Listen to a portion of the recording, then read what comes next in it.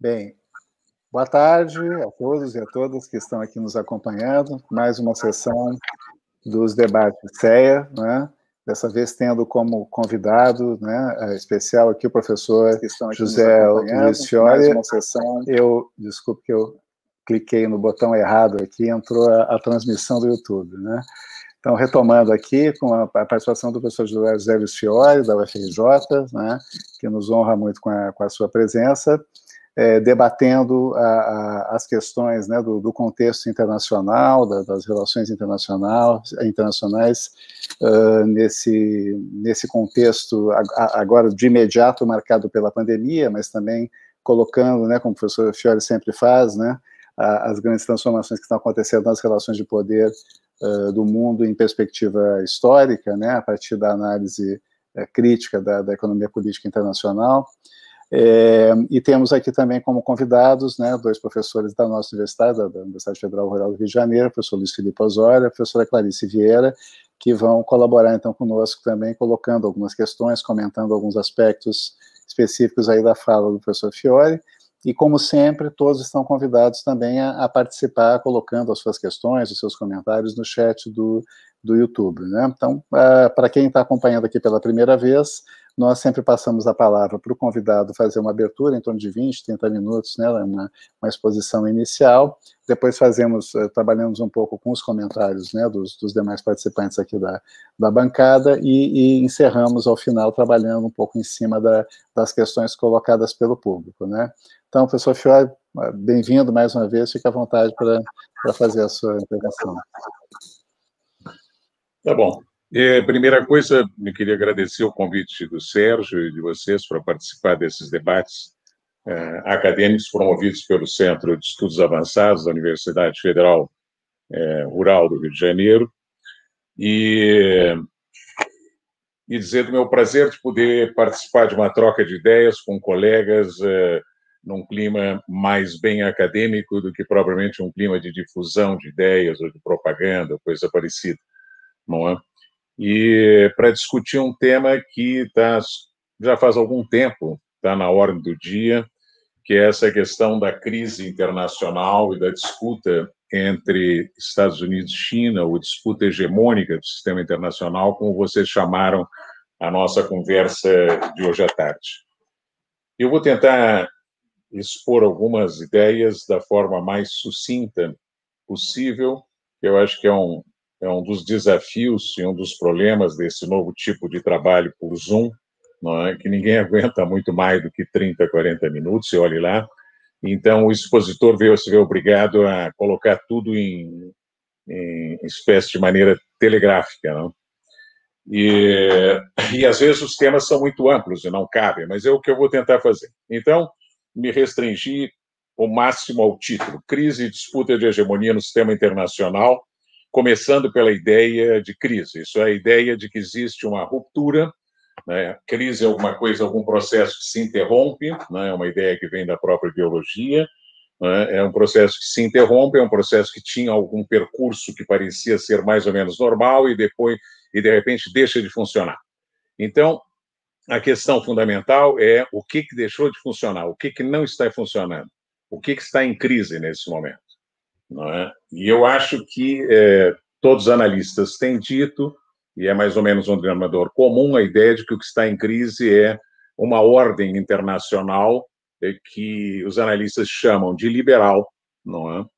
e que se constituiu é, a partir da Segunda Guerra Mundial, é? mas, sobretudo, se reafirmou é, depois de 1991, ou seja, depois do fim da Guerra Fria, depois do fim da União Soviética, depois da queda do Muro de Berlim e da Guerra do Golfo de 1900 e, 1991, não é? São duas, é, digamos, é uma ordem só com dois momentos fundamentais, e nesses dois momentos tem um país que tem um papel decisivo, tanto na proposição, como na construção, como na tutelagem da ordem que são que foram os Estados Unidos. Tanto em 45, depois da Segunda Guerra Mundial, e muito mais ainda depois de 1991, quando a vitória acachapante, apoteótica dos Estados Unidos na, Guerra Fria deixou os Estados Unidos durante um tempo na condição de uma potência única ou de uma ordem mundial assentada ou tutelada por uma única potência. Hoje não está assim, mas era assim na década de 90.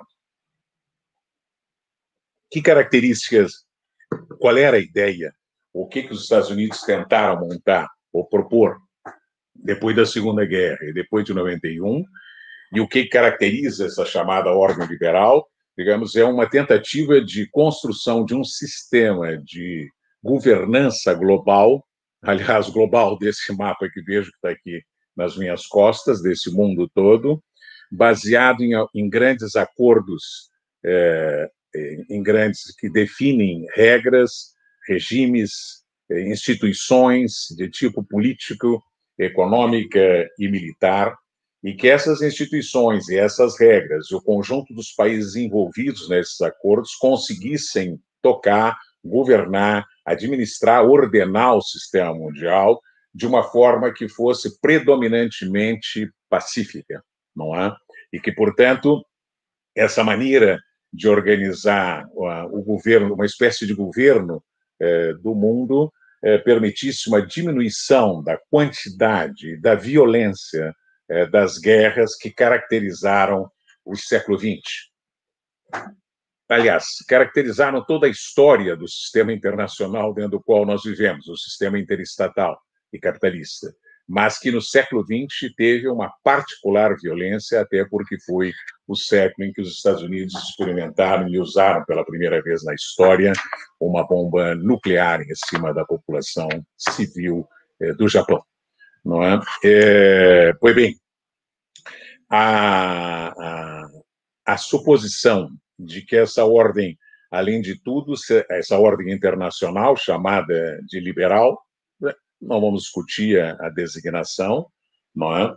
é? se assentava, ou se assentou depois de 1991, numa grande vitória ocidental e norte-americana, em particular na Guerra Fria, e foi comemorada em 1991 é, de forma apoteótica é, pelos pensadores ocidentais, muitos norte-americanos em particular, como a vitória do mundo das ideias é, liberais, é, democráticas, do mercado, do capitalismo e da globalização e dos direitos humanos. Esse seria, digamos, o, o conjunto, a arquitetura dessa essa ordem que seria ao mesmo tempo mais pacífica, supõe-se, supunha-se, supunha-se, não é?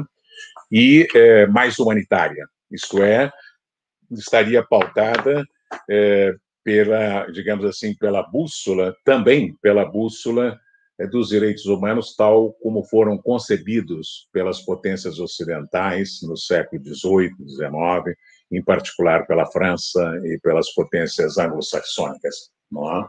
e por todo o pensamento iluminista europeu. Então, essa, esse era o sentimento que havia, eh, pelo menos entre as lideranças eh, liberais ocidentais eh, no início da década de 90. Realmente é como se a Europa tiver a Europa e seu conjunto de instituições e ideias concebidas a partir da Paz de Westfália em 1648 e todas as, as, as posteriores construções iluministas, racionalistas pós de século XVIII, XIX, tivessem vencido, né? É, como disse Fukuyama em 1991, comemorando o fim da história, como ele chamou o livro dele, ficou bastante conhecido, não é? O Ocidente liberal havia conseguido derrotar os dois grandes monstros do século XX, que era o fascismo e o comunismo. E, portanto, uh, por isso ele chegou a considerar, com uma certa precipitação, como depois se viu, que a história tivesse acabado. Não é que ela tivesse acabado, mas é que tivesse vencido um conjunto de ideias de mercado, globalidade, democracia, eh, liberdade, direitos humanos, tá, tá, tá, e que esse pacote de, de, de fabricação europeia tivesse se imposto ao mundo inteiro. E, portanto, derivava-se, supunha-se, um maior tempo de paz. O que que, é, o que que aconteceu é exatamente o que os é, analistas é, discutem né, e divergem na interpretação de por que, que essa ordem, de repente, deu uma cambalhota e é, como que esborou, não é? Mas antes de discutir eh, as interpretações, eu indico apenas, ou confirmando, aliás, o título sugerido por vocês para essa conversa, né, alguns sinais eh, que se magnificaram, se aceleraram, se intensificaram, sobretudo depois de 2015. Já veremos por que, depois de 2015, em 2015, 2020, é, é como se fosse muito pouco tempo, de repente, tudo começou a ruir, tudo começou a cair. Parece, né, à primeira vista. E na maioria das análises dos autores é como se assim fosse. Né? É muito recente o fenômeno.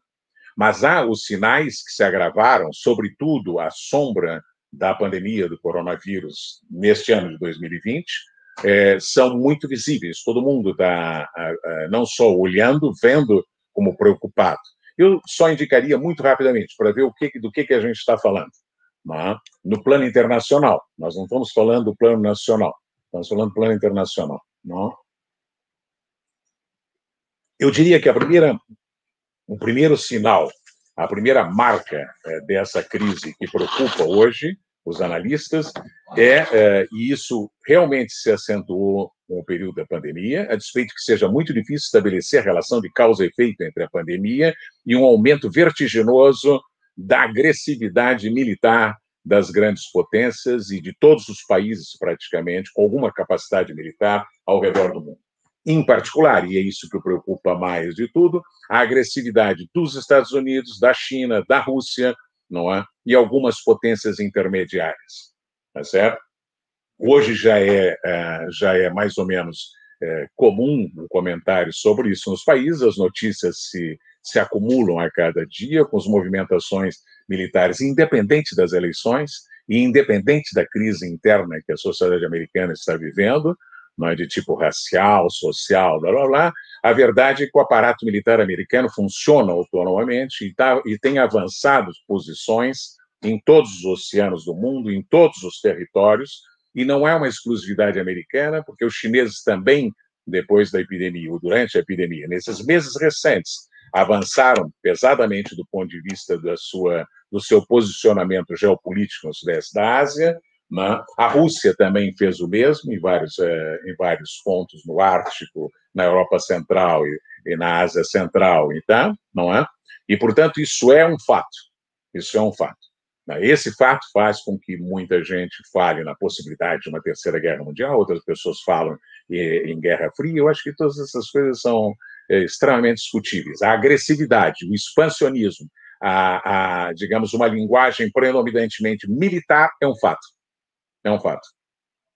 Tá certo?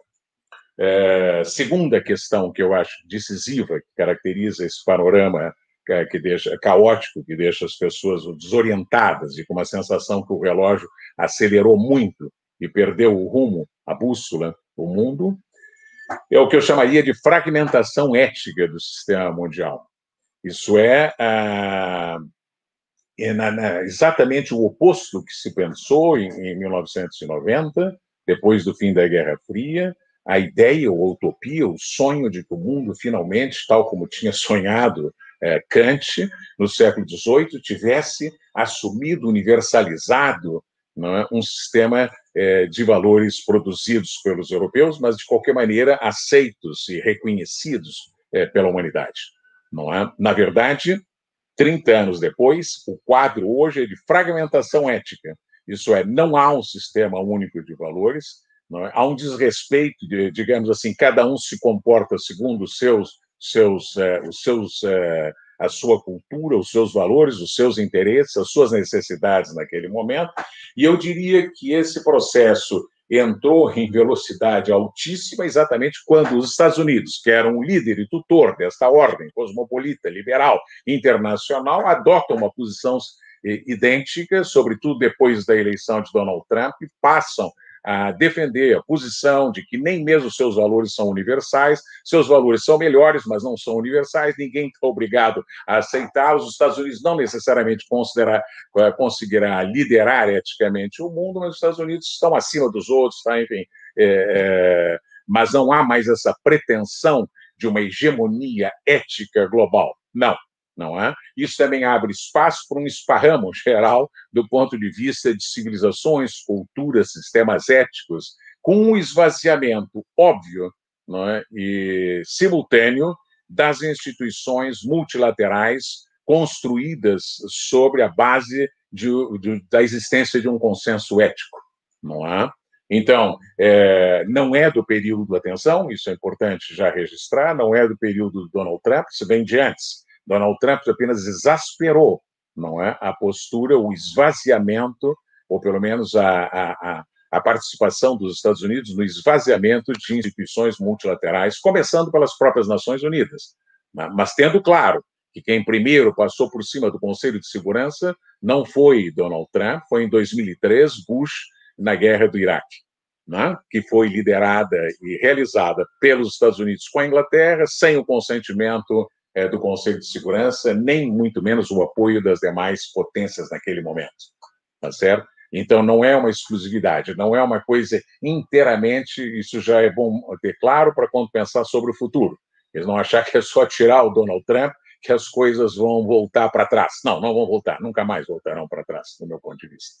Tá certo? Mas, de qualquer maneira, certamente agora se acelerou, inclusive pela postura agressiva da administração Trump com relação à ONU, com relação à Organização Mundial do Comércio, com relação à Organização Mundial da Saúde. Para que falar é, com FAO, é, Unesco, sei lá, isso os Estados Unidos já tinha desembarcado há tempo.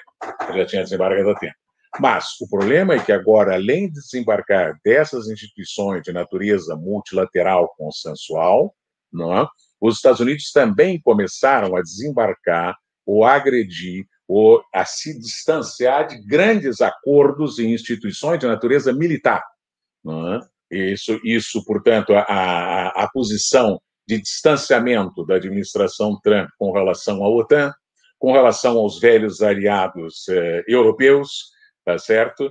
É, com os acordos de desarmamento com, que haviam sido assinados com a União Soviética estão sendo agora denunciados e abandonados em termos de controle balístico, de armamento nuclear, enfim, é como se estivesse desamarrando tudo. Né? Toda a base é, que era ou consensual ou havia sido imposta pela potência vitoriosa e aceita pelas outras, mas que, de qualquer maneira, amarravam uma institucionalidade global, não é não apenas política, comercial, é, diplomática, sanitária, não é laboral, a OIT, tá? É? mas também, também nos pactos e acordos de natureza militar dos Estados Unidos com seu velho e antigo adversário, União Soviética, seu atual concorrente, a Rússia, mas também com relação aos seus aliados europeus. E nesse sentido, um outro, um outro aspecto decisivo para criar essa grande confusão, esse sentimento de crise, me parece ser, é, pela importância da Europa, é, o estilhaçamento, a fragmentação e a fragilização é, do projeto de construção da União Europeia. Né? Não é só a Europa que perde fôlego e perde centralidade no sistema mundial, compreensível pela pequena dimensão dos seus estados componentes, entende? mas o que é mais eh, complexo é uma utopia né, que galvanizou, que mobilizou mentes e corações durante toda a segunda metade do século XX, depois da Segunda Guerra Mundial, e que era uma espécie de marca registrada da tentativa liberal internacionalizante de desarmamento, não é, de pacificação daquele núcleo extremamente bélico do mundo que foi a Europa, não é? Essa utopia de repente esboroa, tá certo? E se fragiliza crescentemente, é, e essa é interessante porque a partir dos anos 90, depois da grande vitória contra a União Soviética, o projeto da União Europeia, o projeto da OTAN começam a se fragilizar, se fragmentar, é, se desmontar. É óbvio que 2015, a vitória do Brexit, a saída da Inglaterra, né, do plebiscito, depois a, a saída da Inglaterra, contribui decisivamente. Como também é óbvio que a má vontade e o ataque flagrante é, dos Estados Unidos de Donald Trump contra é, o projeto europeu e de desqualificação continuada é, da Alemanha, da Angela Merkel e da França, mesmo agora é, do Macron, entende, é, aumentam ainda mais a, a, confusão. Até porque, queramos ou não, a União Europeia, a Europa, é o núcleo produtor, criador do sistema interestatal capitalista, como também do liberalismo democrático.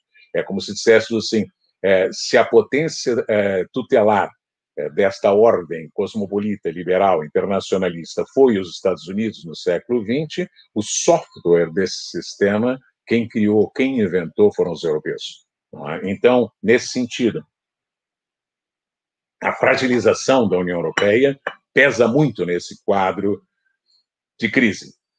É? Agora, é, com isso também, a, a desmobilização da Europa, entre outras coisas, do meu ponto de vista, acentua o sentimento que me parece correto, não é?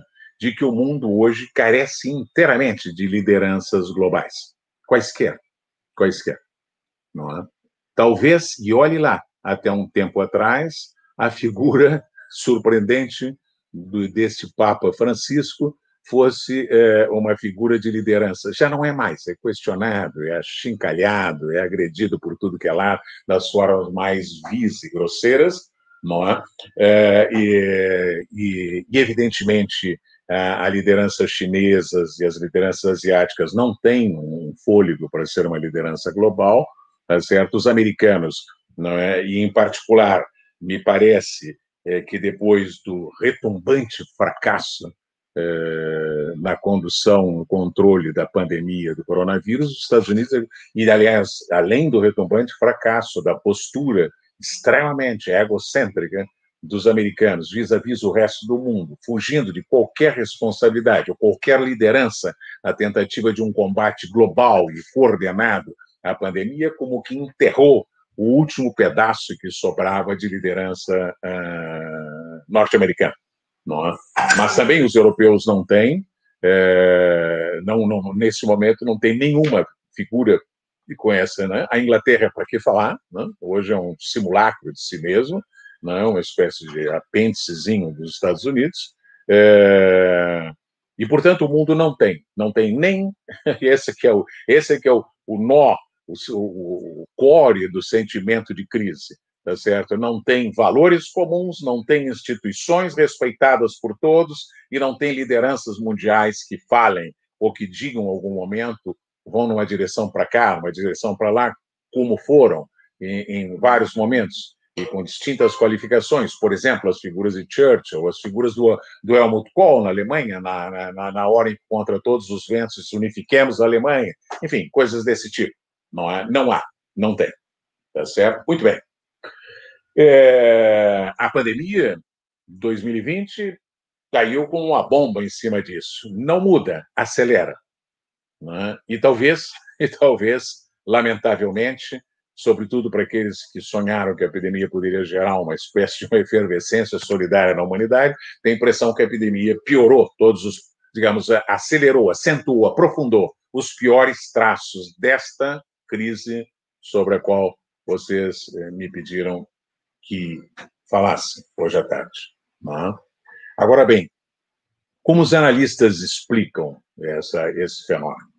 Né? Porque, mal que bem, eh, pensemos bem, é, é uma, é uma cambalhota, não é? Quer dizer, é, em 30 anos, o, o mundo ocidental, para que falar o mundo anglo-saxão, para que falar os Estados Unidos, comemoraram uma vitória sem precedentes, né? e 30 anos depois é, discutem essa, essa desintegração, essa verdadeira catástrofe do ponto de vista da ordem liberal internacional é, concebida é, e tutelada é, pelas potências ocidentais, europeias, Estados Unidos, mas particularmente depois da Segunda Guerra e para que falar depois de 91 pelos Estados Unidos. Muito bem.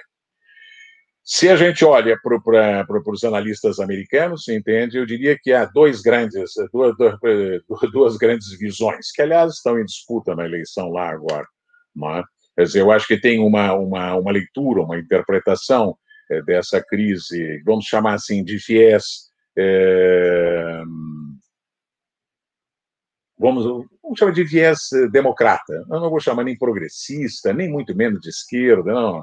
De viés democrata nos Estados Unidos, liberal, liberal não, nos Estados Unidos, né, que consideram que essa, muitos analistas consideram que essa essa crise e a própria eleição de Donald Trump em 1916, ou 2016, desculpa, não é que faz, que faz parte da, da crise, segundo esses analistas, tá certo? Teria a ver, é, em primeiro lugar, sobretudo, com a, a frustração das expectativas que eles tiveram e depositaram na utopia da globalização. Né? Não a globalização como um fenômeno financeiro, que de fato aconteceu e tá. A globalização como um fenômeno de integração de estruturas e cadeias produtivas, que também aumentou muito, tarará, tarará, nesse período, nesse período. Mas não, não é a ideia de que essas transformações econômicas é, globalitárias por cima das fronteiras nacionais contribuiria ou seria a base material daquele sonho pacífico de ordenação, de melhoria dos costumes, não é? Para que falar de melhoria na distribuição da riqueza e blá blá blá, não é? é por isso é, é, podemos chamar de, de, de, hoje já sem dúvida nenhuma de utopia da globalização, até porque estão revertendo.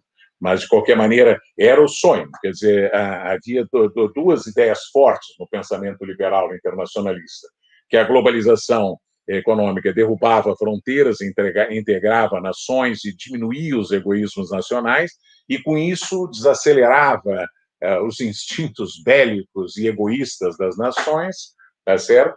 E ao mesmo tempo uh, estimulava, e isso é uma velha, o velho sonho liberal, estimularia, isso já vem lá dos idos do Montesquieu, a, ideia de que o livre comércio adocicaria os costumes e estimularia mais, mais recentemente, o desenvolvimento de instituições democráticas, a construção de classe média liberal e papapá. Então, daí eh, dizem os, os, os, liberais, os democratas, vamos chamar, os progressistas americanos, né, nós erramos duplamente. Primeiro, de não perceber é que uma, uma globalização sem freios, sem freios, né, vamos chamar assim, de teor ultra, ultra liberal, né, acabaria provocando uma rapidíssima né, uh, polarização da riqueza, um aumento da desigualdade na distribuição da riqueza mundial entre as nações e entre as classes sociais, mesmo dentro de países como os Estados Unidos, a Inglaterra, blá, blá, blá, blá, blá.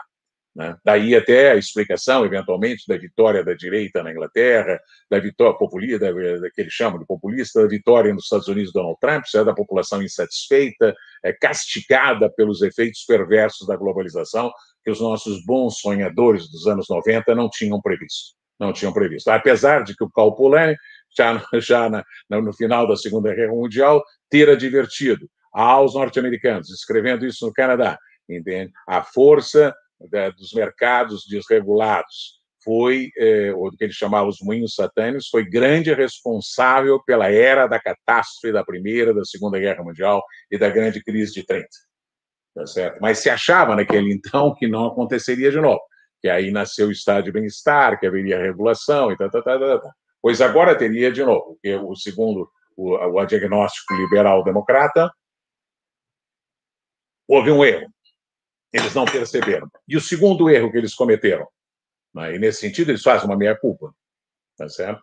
É, o segundo erro que eles não perceberam é porque eles acreditaram que, através da liberação do comércio, do mercado e da globalização, a própria globalização, é, com uma espécie de um economicismo não marxista, geraria é, provocaria o avanço da democracia na China, na Rússia, na Ásia, e sim derrubaria todos essas, esses regimes é, semi-bárbaros, semi-tirânicos, não ocidentais e não democráticos. Não é? O progresso econômico traria democracia, e isso não aconteceu. E a China e a Rússia não, não, não, não se inscreveram na categoria não se, do, do, dos estados chamados por eles de democratas. Tá certo? Muito bem, esse é o diagnóstico meia culpa, meia culpa, meia culpa dos liberal-democratas dos anos 90, os social-democratas aqui entre nós, né, que sonharam é, com, a, com, as maravilhas é, políticas pacificadoras e econômicas da globalização. O segundo diagnóstico muito forte, muito importante né, nesse momento, porque é menos meia-culpa, pelo contrário, é mais, é mais projetivo, é o diagnóstico conservador, ou o diagnóstico da direita conservadora. Nos Estados Unidos e depois repetido em vários lugares por figuras menores dentro da história do sistema mundial. Tem nenhuma relevância. Mas dentro dos Estados Unidos, sim, tem relevância, porque aí o diagnóstico é meio parecido no início do, dos, vamos chamar os progressistas conservadores. O diagnóstico dos conservadores é meio parecido com o dos progressistas no ponto de partida. A globalização fracassou. É? E a utopia liberal internacionalizante fracassou. Só que aí eles vão mais à frente. Eles vão mais à frente. Toda essa institucionalidade construída em cima da utopia liberal internacionalista fracassou. Tá certo? Então, houve um fracasso econômico, houve um fracasso político, e qual é o sinal, qual é o indicador principal desse fracasso? O indicador principal desse fracasso é que a sombra dessas instituições democratizantes é, e civilizatórias do mundo ocidental, a China virou uma megapotência, não é? Em 20 anos, não é só 20, mas nesse período muito recente, de forma aceleradíssima, a China deu um mega salto em termos de potência econômica, militar, tecnológica, informacional, espacial, tudo que se queira. Não é? Neste período, também, em menor escala, em um outro campo, a Rússia se rearmou. Isso é, depois de ter sido destroçada e ainda por cima avacalhada eh, durante o período de Boris Yeltsin, entende? A Rússia, em 20 anos, voltou a ser uma megapotência energética e militar de natureza mundial, com capacidade militar que os chineses não têm, mas eles têm, de projeção militar do seu poder à escala global, em particular com relação às potências europeias e aos Estados Unidos. Tá certo? Então, qual é o, qual é o, qual é o diagnóstico dos conservadores? O responsável por isso foram os liberais internacionalistas acreditando nessa baboseira eh, de pacifismo, de não sei o quê, de deixar a China entrar na Organização Mundial do Comércio, deixar a China entrar na Organização Mundial da Saúde, e tá? E esses caras foram roubando os nossos segredos e as nossas informações e de repente viraram as potências que nós deixamos eles crescerem e agora estão aí na nossa porta batendo e nos incomodando, tá certo? E nos ameaçando, sobretudo. Não? Agora, tem uma seja seja na versão progressista, seja digamos na versão democrata de meia culpa, meia culpa, globalização não era a salvação, então, seja na, na, na, no diagnóstico acusatório, esse projeto globalitário, internacionalizante, liberal de vocês foi um desastre, não é certo? Que é, gera o, o, o Donald Trump. É interessante que tem é, é, três aspectos, eh, pelo menos, é? que, em geral, as pessoas, os analistas, não, não incorporam, porque é? eu diria que são importantes, do meu ponto de vista. Primeiro, é porque é, dificilmente, primeiro aspecto, é? É, é, que dificilmente não existe, que eu lembre, na história do sistema interestatal, nenhum outro momento. Aliás, não existe, pronto, não é que eu lembro não existe nenhum outro momento da história do sistema interestatal capitalista onde uma única potência tenha conseguido acumular o poder militar, tecnológico, informacional e econômico, financeiro, monetário que os Estados Unidos acumularam no momento da vitória em 1991. Não há na história do sistema mundial um desequilíbrio, uma simetria tão gigantesca de poder como aconteceu em 1991. A China não era nem sombra do que está aí. A União Soviética virou uma Rússia inteiramente destroçada. E a Europa era uma, um conjunto de estados mais ou menos satisfeitos e desarmados. Quer dizer, os Estados Unidos detinham a faca, o queijo, o prato, tudo na mão. Fazem 30 anos atrás.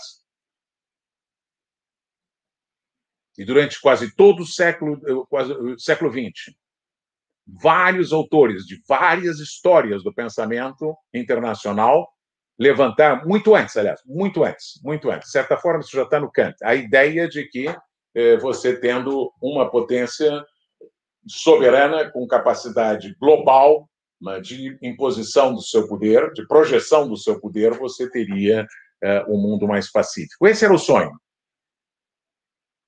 E em 1991, uh, os Estados Unidos tinham tudo na mão. 30 anos depois, acabou-se. Está destruída essa ordem. Como é que se explica que isso tenha acontecido nessa velocidade, tendo os Estados Unidos tamanho poder nas mãos? Segunda questão, que os analistas em geral não falam, né, é que mesmo depois da crise econômica financeira de 2008, 2009, não é?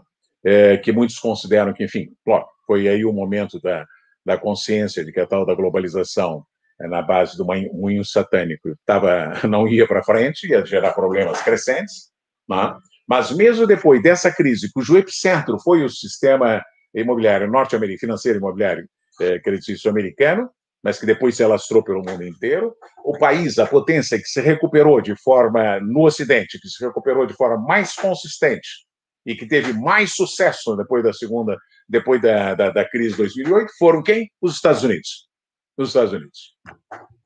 Tá certo? A despeito de todo o declínio americano, a crise americana, a desgraça americana, o fim dos Estados Unidos, cabal, neste período de 2010 a 2020, os Estados Unidos aumentaram sua participação no PIB mundial e voltaram dos 22% para os 25%. Nesse período, os Estados Unidos expandiram o seu poder financeiro e monetário dentro do sistema mundial gigantescamente, e é isso que depois permitiu que eles transformassem a sua moeda e as suas finanças numa arma de guerra, como faz o Donald Trump a cotidiano. Contra pessoas, contra classes, contra empresas, contra países, contra todo mundo. Usando desse poder amealhado pelos Estados Unidos. Depois da crise do sistema financeiro globalizado, e a crise teve o epicentro nos Estados Unidos, os Estados Unidos, em 12 anos, entende, tem mais ou menos um 90, 85, 90% das operações no mundo inteiro é, são feitas em moeda americana e passam pelo sistema financeiro bancário integrado é, a partir dos Estados Unidos.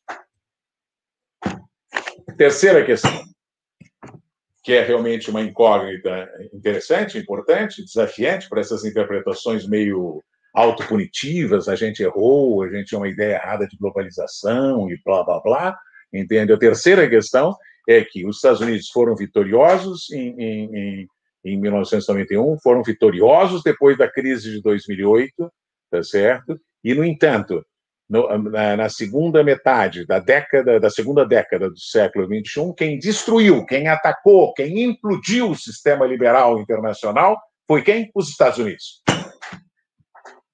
A potência vitoriosa, a potência dominante, a potência que tinha a tutela do sistema e de todos esses organismos multilaterais, que todos foram montados, ou por iniciativa, né, ou com apoio decisivo, ou com participação majoritária nos, nos, que são financeiros dos Estados Unidos.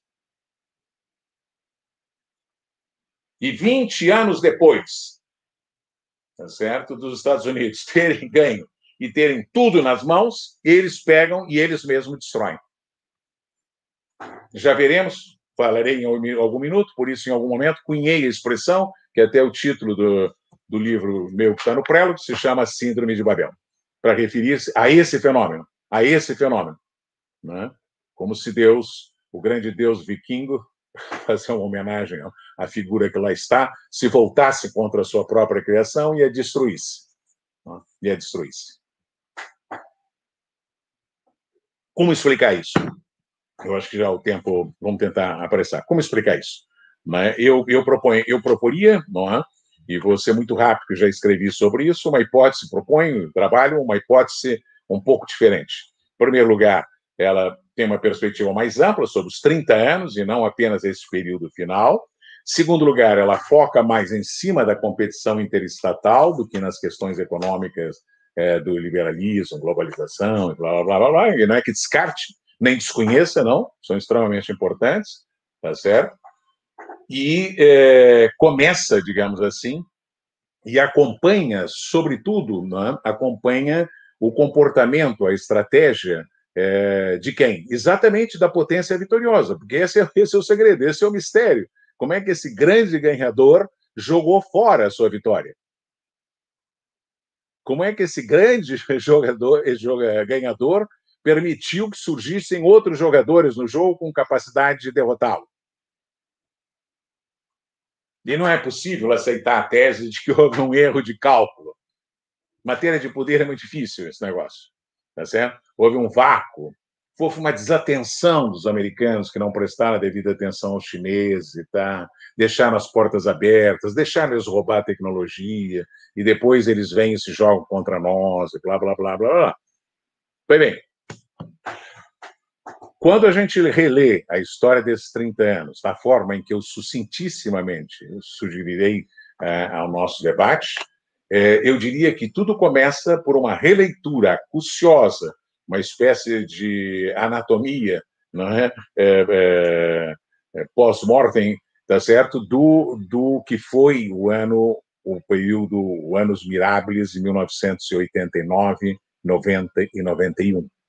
Isso é desde que se abriram os portões de Berlim até o momento em que se destruiu Bagdá. Ou o Iraque, melhor, foi Bagdá, nesse caso. Tá certo? A Guerra do Golfo. E aí eu chamaria atenção, porque tem que ser muito rápido, ou apenas chamar atenção de alguns aspectos que apontam para uma trajetória que atravessa esses 30 anos e, de alguma forma, culmina neste, neste, neste fenômeno do Deus que destrói a Torre de Babel, que ele mesmo construiu, no caso, no caso. Não é bem o caso do, do mito da torre lá. Tá certo? Então, eu acho que a primeira coisa que se deve observar é que logo que termina a Guerra Fria, tá certo? Em primeiro lugar, não houve nenhum acordo de paz com a potência derrotada, a União Soviética, não houve nenhum estabelecimento de regras de convivência ou de destruição, né? e o que foi feito em termos de destruição foi na prática, não foi com acordo, que é a destruição do território do antigo Império Russo e blá blá blá, tá certo? E tampouco houve, tampouco houve nenhum acordo entre as potências vitoriosas, ao contrário da Segunda Guerra, de jeito nenhum. Não é? E quando essas potências começaram a cogitar da hipótese de discutir como organizaremos o mundo agora depois da nossa vitória, entende? Os americanos, é, é, é, digamos assim, colocaram sobre a mesa de forma bastante é, rude, não, é? não precisamos discutir, porque as regras quem definirá sou eu, e isso aconteceu na famosa Guerra do Golfo que em princípio tinha a ver com, com uh, o Saddam Hussein, o Iraque, o Kuwait, a invasão, a soberania, o petróleo, sim, tinha algo tinha a ver com tudo isso aí, tá certo?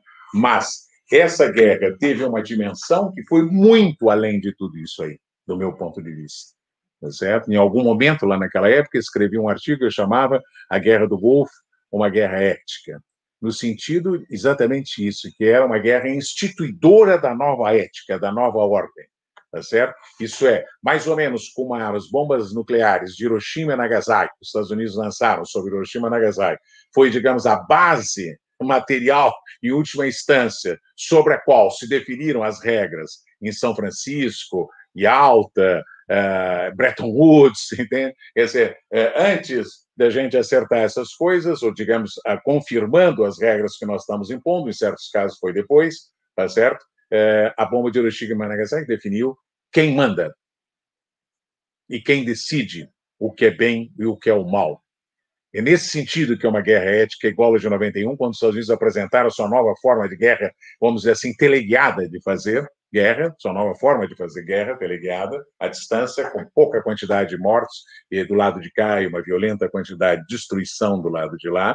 E todos nós, aliás, na época, quem estava aí pôde assistir pela televisão, até, inclusive, era uma novidade, a destruição, tá certo? E isso foi uma espécie, assim, de um disclosure, como se os Estados Unidos apresentassem aos demais estados: esse aqui é o armamento, essas são as novas condições, essas são. É, quem define agora o bem e o mal. Quem arbitra e quem aplica sou eu. Acabou. Tá certo? Então, a nova ordem, esta chamada de liberal é, globalitária, tá? na verdade, de fato, nasceu de uma guerra, nasceu de uma destruição, de uma guerra que matou 150 mil iraquianos e não morreram mais do que 100, 150 norte-americanos. Absolutamente, era o retrato do mundo que estava sendo proposto em termos de assimetria.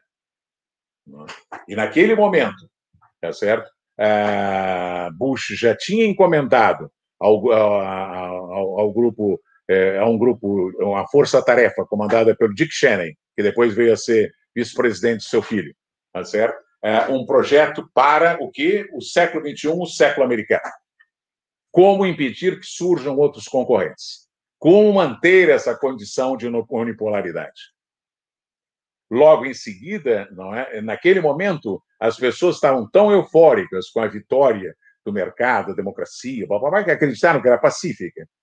Poucos se perguntaram, poucos questionaram para onde apontava um sistema de poder unipolar, onde uma potência tinha tamanha quantidade de, e capacidade de destruição militar na mão de uma só potência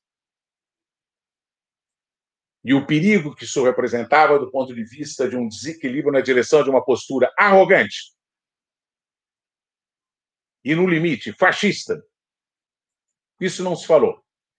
Todos olhavam que era para o lado uh, adocicado do senhor Fukuyama. Depois veio Bill Clinton. E muitos pensaram: ah, bom, foi-se o Bush do petróleo, do Texas, do Cheney, pessoal grosso, primeiro, não. E agora chegou uh, o liberal-democrata do leste, uh, com formação universitária, papai, e esse virou um pouco o retrato da nova era. Pacífica, humanitária. Nesse período, os Estados Unidos fizeram cerca de 20 intervenções humanitárias, militares. Não?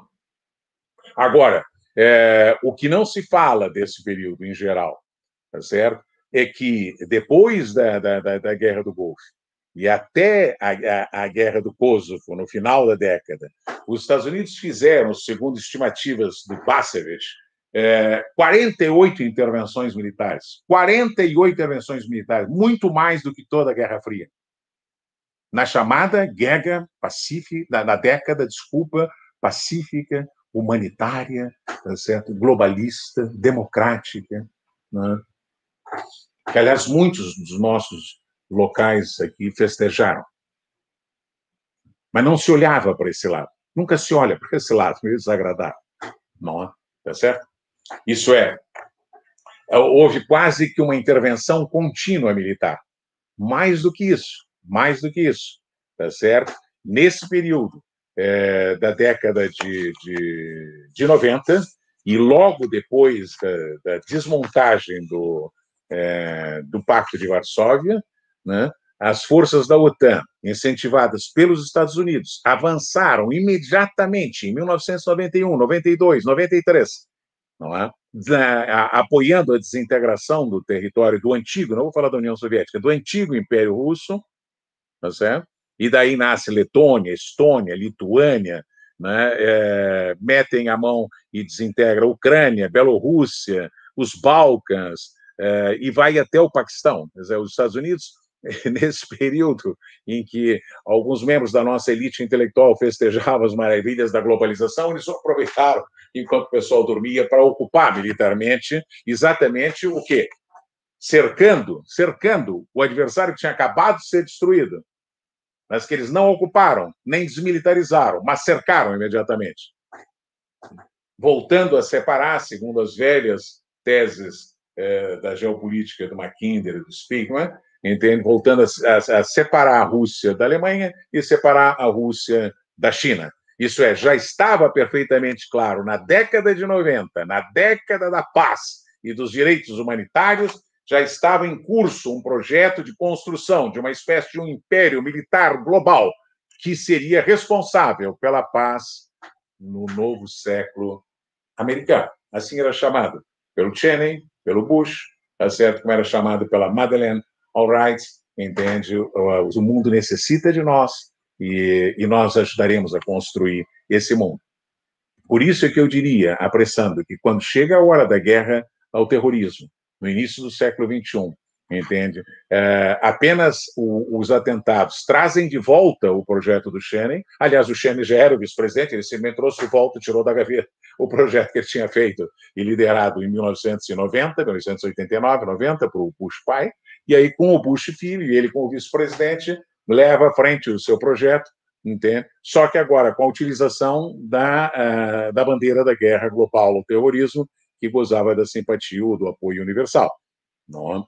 Agora, o que também não se prestava atenção, ou se se prestava, não importa, nesse momento é o que eu quero destacar, é que essa guerra universal ao terrorismo ela levava embutida, entende, uma ideia de um inimigo ubíquo e universal e escondido, e, portanto, era um inimigo, digamos assim, que estava por cima das fronteiras nacionais, e quem identificava o inimigo eram os Estados Unidos, quem dizia quando atacava eram os Estados Unidos, e isso poderia ocorrer em qualquer território nacional.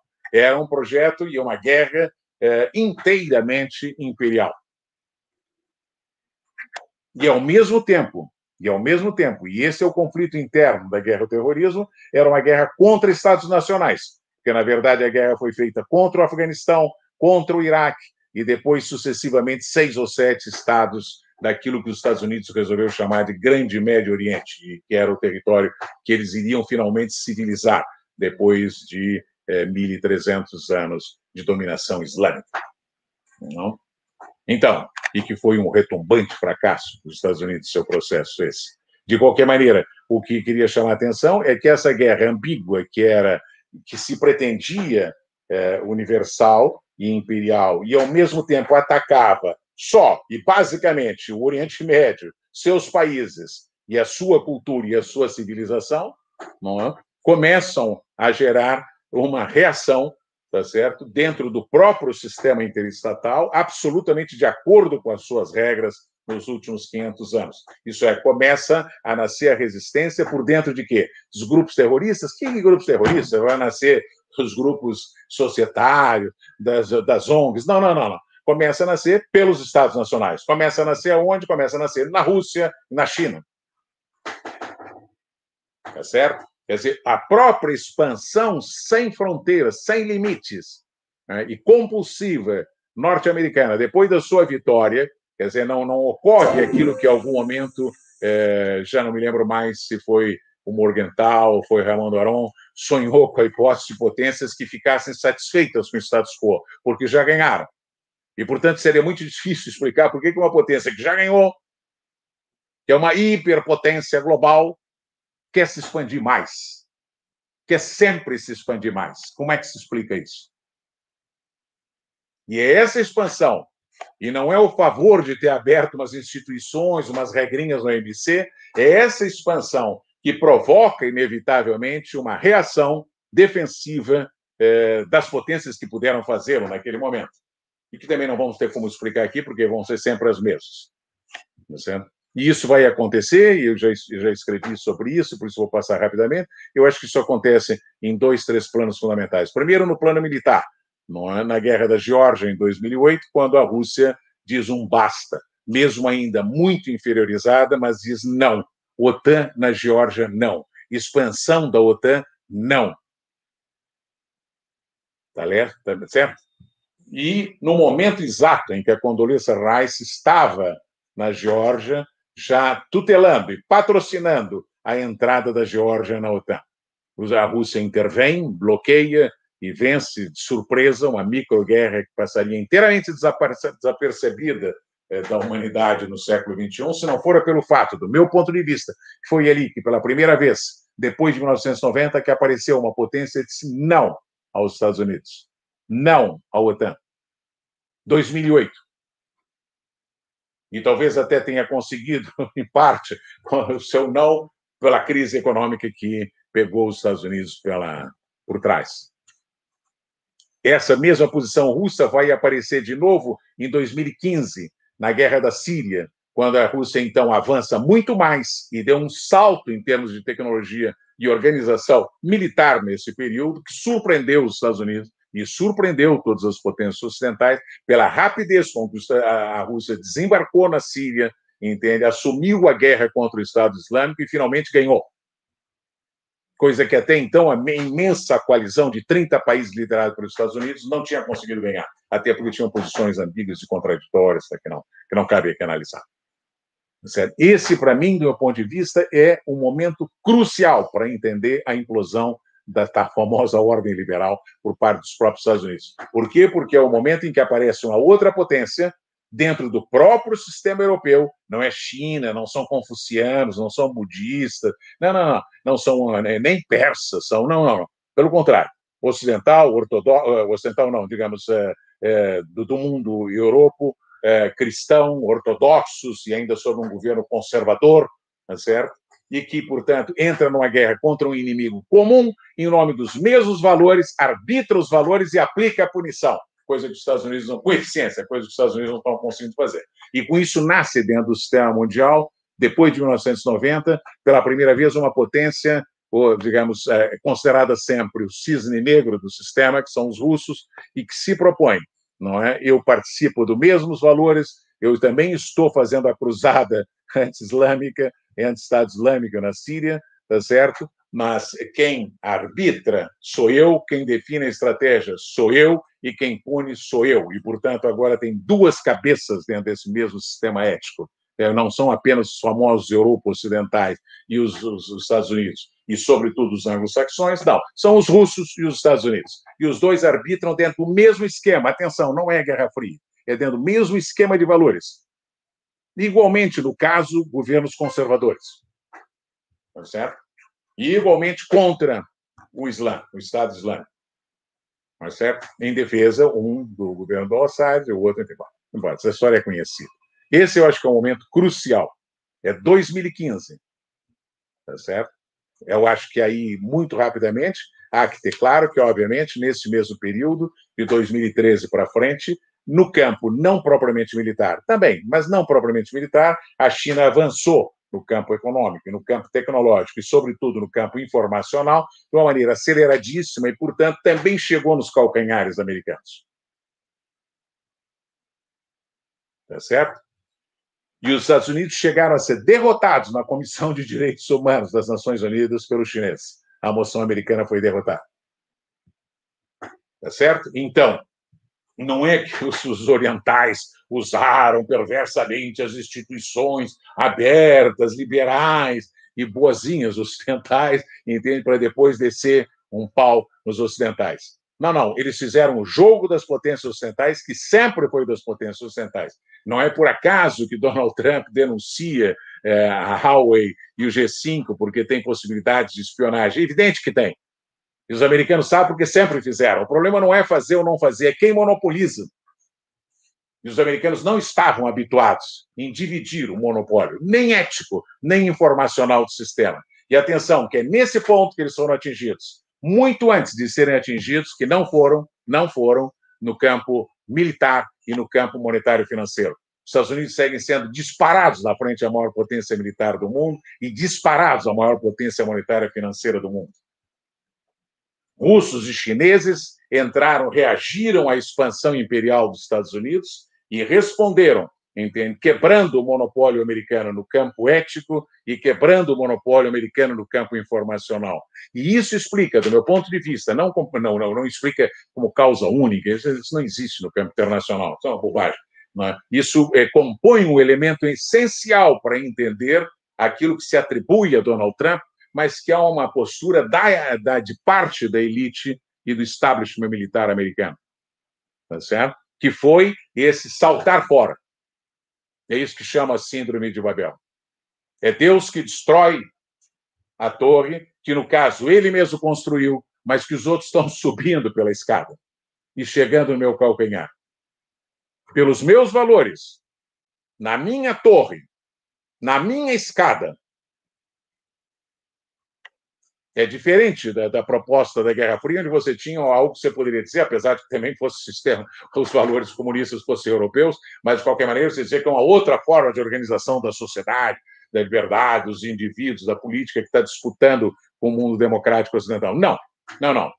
Neste caso, são duas potências, entende, que defendem os interesses nacionais, como todas as demais do sistema Westphalia, tá certo? que já, trabalham nas mesmas regras, com os mesmos instrumentos, e apenas quebraram o monopólio. E aí, Estados Unidos faz um movimento natural e perfeitamente compreensível, deste ponto de vista desta hipótese que estou sugerindo, que é eu me desfaço desse sistema, eu destruo a torre. No caso, foi destruída por um cidadão excêntrico, enfim, um, um gambler, um jogador, enfim, não interessa qualificar. Apenas para dizer, claro, que isso não tem a ver com o indivíduo. Não há volta atrás. Seja porque eu considero que as instituições não eram tão boas quanto eu queria, seja porque eu disse que as instituições deixaram os outros me roubarem o meu, o meu segredo. É provável que tenham roubado o seu segredo, mas não é um segredo de um outro sistema. E esse é por isso que o desafio é inteiramente novo. É porque eles estão roubando o segredo desse sistema, o mesmo sistema criado e tutelado pelos anglo-saxões e pelos europeus. Eles não estão contra, eles não estão fugindo do sistema, eles estão defendendo as regras desse sistema e estão ganhando dentro das regras desse sistema. E esse é o desafio para pensar para frente.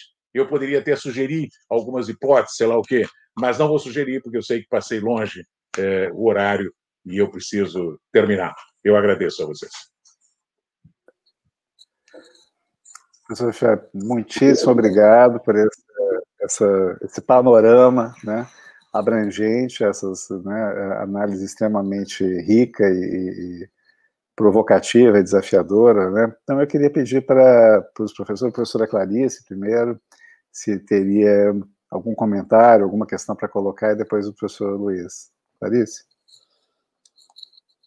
O microfone. Perdão. O microfone está fechado. Boa tarde a todas e todos. É, um abraço aí, Alexandre, Luiz. Um abraço, querido Fiore. É, te ouvir é sempre um prazer incrível, uma experiência. Então, por conta disso, eu vou, é, se você me permite, eu vou me privar de fazer grandes comentários e vou te fazer perguntas. É, teria vários, assim, tem vários assuntos que são é, muito que você levantou na sua apresentação e vem falando, né, é, publicamente em várias é, ocasiões, vários assuntos muito interessantes, mas eu vou, dado tudo que você falou, pegando um gancho com o que você falou, eu vou te perguntar um pouco sobre é, um assunto que está muito, muito atual e muito falado, que é a questão da disputa China e Estados Unidos. Né?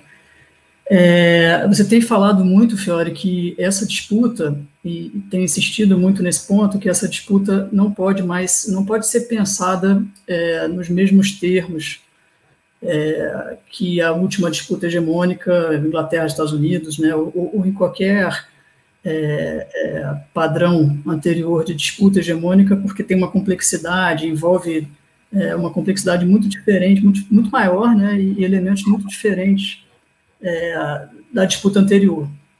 É, e você, inclusive no, no, sentido de que é uma disputa que envolve elementos civilizacionais, né? Você chega a falar na ideia de que que está em jogo agora são é, é, massas civilizatórias asiáticas que estão tentando entrar para esse jogo e estão disputando com as com as potências que criaram esse essa essa criaram essa máquina, né, esse software, como você falou, né? que é essa maneira muito peculiar de conseguir financiar muito bem e, e de forma muito é, exitosa as guerras, né, que é através da invenção do capitalismo. É, bom, isso é o que eu tenho ouvido, a maneira que eu tenho lido as coisas que você tem falado, e aí eu queria te perguntar nesse sentido, se você quiser comentar ou responder ou falar abertamente sobre esse tema, que eu acho que é um tema é, quente, né? É, Dois assuntos. Primeiro, um assunto mais que eu acho que é mais é, é, é bastante discutido. Se você acha que nessa disputa, qual é a diferença que faz o regime político?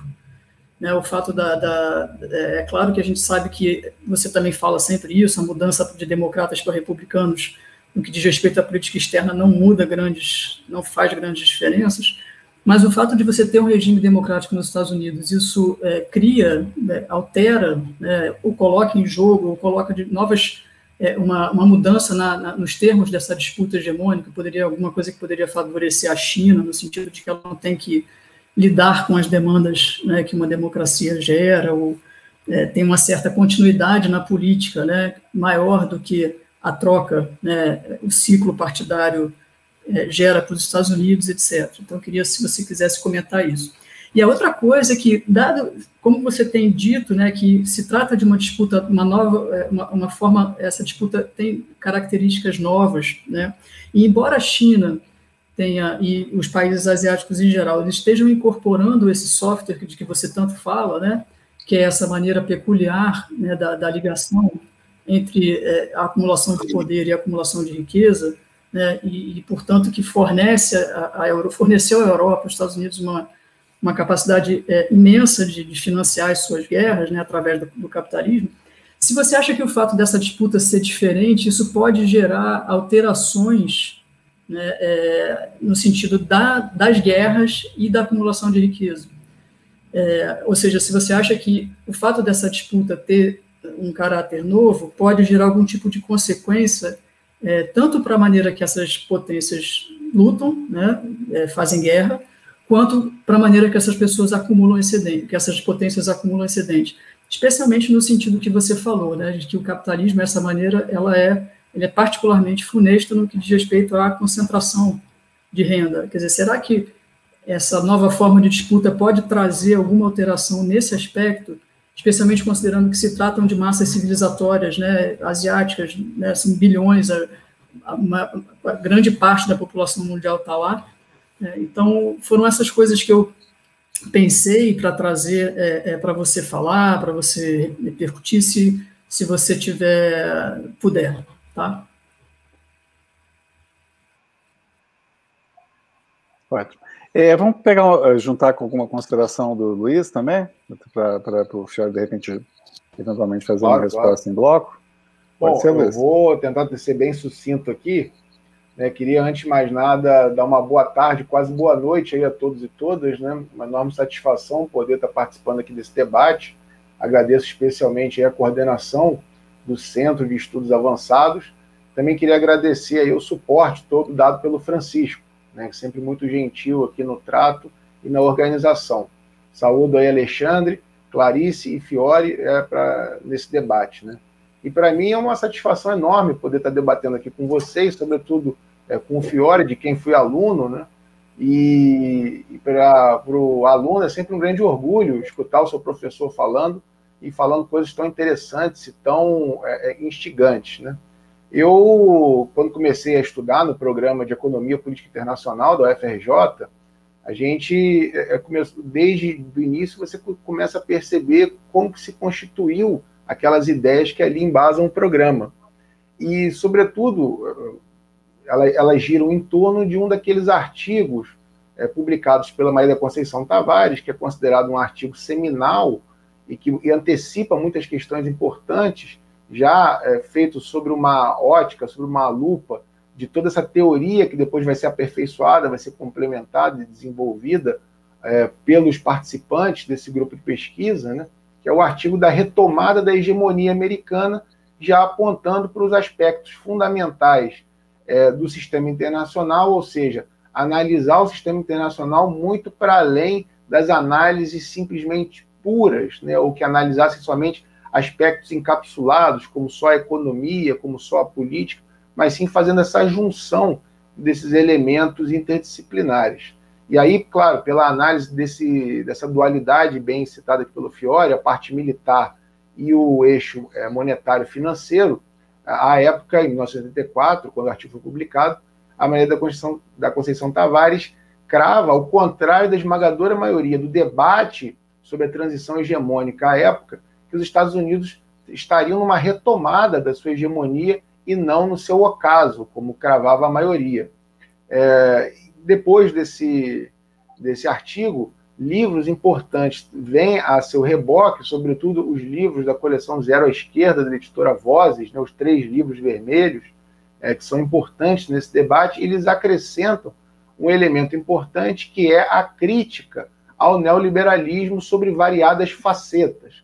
Ou seja, é, a, o entusiasmo à época da década de 90 e início dos anos 2000 com a globalização financeira não era compartilhado por esses autores, que muitas vezes acabaram, em alguma medida, como o próprio Fiore, escanteados na, nas rodas sociais, nos grandes debates. Né? É, o Fiore até se notabilizou por ser um grande crítico é, do liberalismo, do neoliberalismo, na Folha de São Paulo em outros veículos, é, pontuando os aspectos estruturais que estavam ali envolto, envoltos nessa bruma, nessas brumas da aparência de, um, de uma vitória, de um entusiasmo neoliberal que viria para ficar. É, em 2008 veio o livro O Mito do Colapso do Poder Americano, composto por artigos de três autores, dentre eles o Fiore, mas é, são artigos que já sinalizam para um mundo que vai se gerindo já em meio à realidade da globalização. Passada a euforia, já se sentia é, como que as ilusões foram ficando pelo caminho, já se sentia qual era a crueza, qual era, qual era a realidade das relações internacionais daquele momento, tanto que os artigos é, têm como enfoque não só o poder hegemônico, como também Rússia e China. E aí, claro, hoje em dia o que se fala mais é sobre a transição, né, esse debate sobre a transição hegemônica novamente. Claro que a China e o contexto internacional dão novos coloridos a essa tônica, né, a tônica de outrora, daquele debate da década de 80, girava em torno de Japão e Alemanha, né, o que se percebeu que eles eram apenas sócios menores e não é, grandes concorrentes a ponto de colocar em risco o sistema, funcionavam muito na dinâmica de colaboração e conflito, colaboração e competição, o que, em alguma medida, faz com que esse sistema se expanda ainda mais. E aí sempre me, me, me veio à cabeça, me ficou muito, é, muito presente né, nas análises que eu vou fazendo e na, no pensamento que a gente vai desenvolvendo, essa, esse destaque que o Fiore dá ao poder hegemônico. E esse destaque que ele dá ao poder hegemônico, sobretudo, no trato com o sistema internacional e com as instituições internacionais. Isso para mim é muito caro. Eu sou professor de organizações internacionais, pesquiso e produzo nessa área. E é interessante ver que esse foi um tema que acabou aparecendo na ordem do dia é, com as relações de Trump com a OMS, por exemplo, mas não só. É, a relação dos Estados Unidos com as organizações internacionais são relações é, dignas de uma análise mais detida, né, desde o Iraque 2003, por exemplo, os mais recentes, até o corte de financiamento em algumas organizações internacionais, como a Unesco, e até a situação atual com a OMS, de corte de financiamento e eventual retirada, eventual saída, me interessou muito é, esse livro que o Flávio comentou, que está no Prelo, Síndrome de Babel, é, tocando essa relação do poder hegemônico com a institucionalidade, até porque é, me vem sempre à cabeça a compreensão de, daqueles defensores é, do progresso, aqueles, aquelas pessoas que estão à esquerda do espectro político, estão tentando construir um mundo melhor, muitas vezes acabam caindo em armadilhas na defesa de instituições internacionais, na defesa de uma ordem liberal posta no pós-45 e que se aperfeiçoou após a década de 90. É, essa trama, essa relação com as instituições, ela vale também até para o cenário interno, a partir do momento em que as eleições nacionais são polarizadas entre aquele que está contra tudo que está aí e a esquerda que acaba é, é, tentando defender a ordem, tentando defender a democracia, essa ordem que nos leva à miséria, que nos leva à desigualdade e à injustiça que está hoje, não só no plano nacional, mas também no plano internacional. Ou seja, é essa ordem também que legitima absurdos, desigualdades hostilidades e guerras. Então, nessa linha, é, acho que seria interessante ouvir o Fiore falar um pouco sobre essa relação do poder hegemônico com a institucionalidade, né, levando em conta, claro, junto com a pergunta da Clarice, como que a China é, vai se projetando, sabendo jogar o jogo do sistema interestatal também dentro das instituições internacionais, e por isso ela vai se destacando, vai se acotovelando aí nesse condomínio das grandes potências mundiais. Ok. Fiore.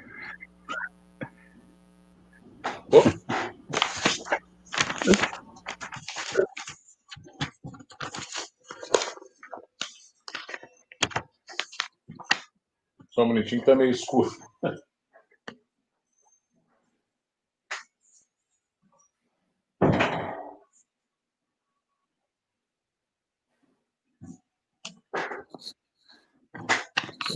Bom, ah, peraí. Parece, parece. Está aberto o meu. meu... Está aberto? Ah. É, então tá. É, tento não responder, mas comentar os comentários é, da Clarice e do Luiz. Né? É, primeira a questão é da Clarice trouxe a baila isso que seria é uma hipótese, não é? uma disputa, e mais do que uma disputa, seria uma transição hegemônica é, que no médio o longo prazo, transferiria dos Estados Unidos para a China, parece, seria o caso, no momento, não é? é uma espécie de liderança ou supremacia é, como poder global, mundial. É? E que isso pudesse ser uma reprodução ou tivesse algo em comum é, com a transição que transferiu o poder quase global do Império Britânico para o poder global militar é, e monetário financeiro dos Estados Unidos. Não é? É, é, eu acho que você mesmo já é, já disse, é, tem, tem, tem, é, há diferenças notórias entre os dois casos. Né? Em primeiro lugar, essa ideia da, transição hegemônica, né, que autores menos ligados às tradições do pensamento internacional norte-americano e mais do pensamento wallersteiniano, hegeliano, sei lá, mais ou menos marxistas, ou de filiação, origem, é, ou simpatia marxista e tal, é, às vezes tendeu a, a, simplificar um pouco essa história e generalizar um processo que seria desde o início do sistema interestatal. Né? Então, sei lá, Portugal passou para a Espanha, a Espanha passa para a Holanda, a Holanda passa para a França, para a Inglaterra, a Inglaterra passa para os Estados Unidos, não é? é a Riga, inclusive, Giovanni Riga, inclusive, o sociólogo italiano, economista, e depois é, trabalhou muitos anos nos Estados Unidos, é? a ideia de que isso fossem como sucessões que tivessem a ver também com mutações no campo tecnológico, então é uma coisa meio schumpeteriana, meio marxista, meio wallersteiniana e tal. Bom, sei lá. Esse, esses esquemas são sempre extremamente tentadores, porque facilitam, ajudam, organiza tudo, bota tudo no mesmo pacote e tal. O problema é que a história escapa sempre. Né? E a dificuldade para quem quer realmente entender as coisas como são, ou pior ainda, né, tentar se inserir na história para tentar fazer algo, mudar os, é importante você saber é, mais bem as diferenças do que as semelhanças. Às vezes as semelhanças são importantes, mas tem que chamar das diferenças. E eu acho que esse é o ponto que Clarice estava me, me pedindo que, que, voltasse a ele, não é? é? No sentido de que, de fato, é, vamos dizer assim, a, se houvesse, vou, vou, vou, vou, fazer uma comparação sem entrar em maiores detalhes, se houvesse algo, algumas similitudes, né, no caso da transição da Inglaterra para a supremacia norte-americana, não é? é, há, um, há um envolvimento de, de outros atores que participaram dessa transição, incluindo aquele país que é por muitos considerados como o grande desafiante, o grande challenger da supremacia britânica, que teria sido a Alemanha, né, Frederico Guilherme, tá certo? A Alemanha unificada depois de 1870, né, é, 71. Mas, a, na verdade, o grande challenge, digamos assim, quem cresce economicamente de forma acentuadíssima, do ponto de vista industrial, do ponto de vista de PIB, blá, blá, blá, no período entre 1870, 80 e 1910, 20, a Primeira Guerra Mundial, são os Estados Unidos, muito mais do que a Alemanha. Muito mais que a Alemanha. Então, nesse sentido, é como se os Estados Unidos fossem o desafiante. Mas, é, é, é, os Estados Unidos foram colônia americana. Os Estados Unidos tinham acabado de perdido da Inglaterra. De certa forma, os Estados Unidos foi uma, uma prolongação é, puritana da, é, da, da, da Grã-Bretanha, da Inglaterra primeiro, depois da Grã-Bretanha, não é? E, portanto, também é um país que sempre gozou de condições, depois, sobretudo depois da, da Guerra de 1815, é, gozou de condições super especiais junto à Inglaterra.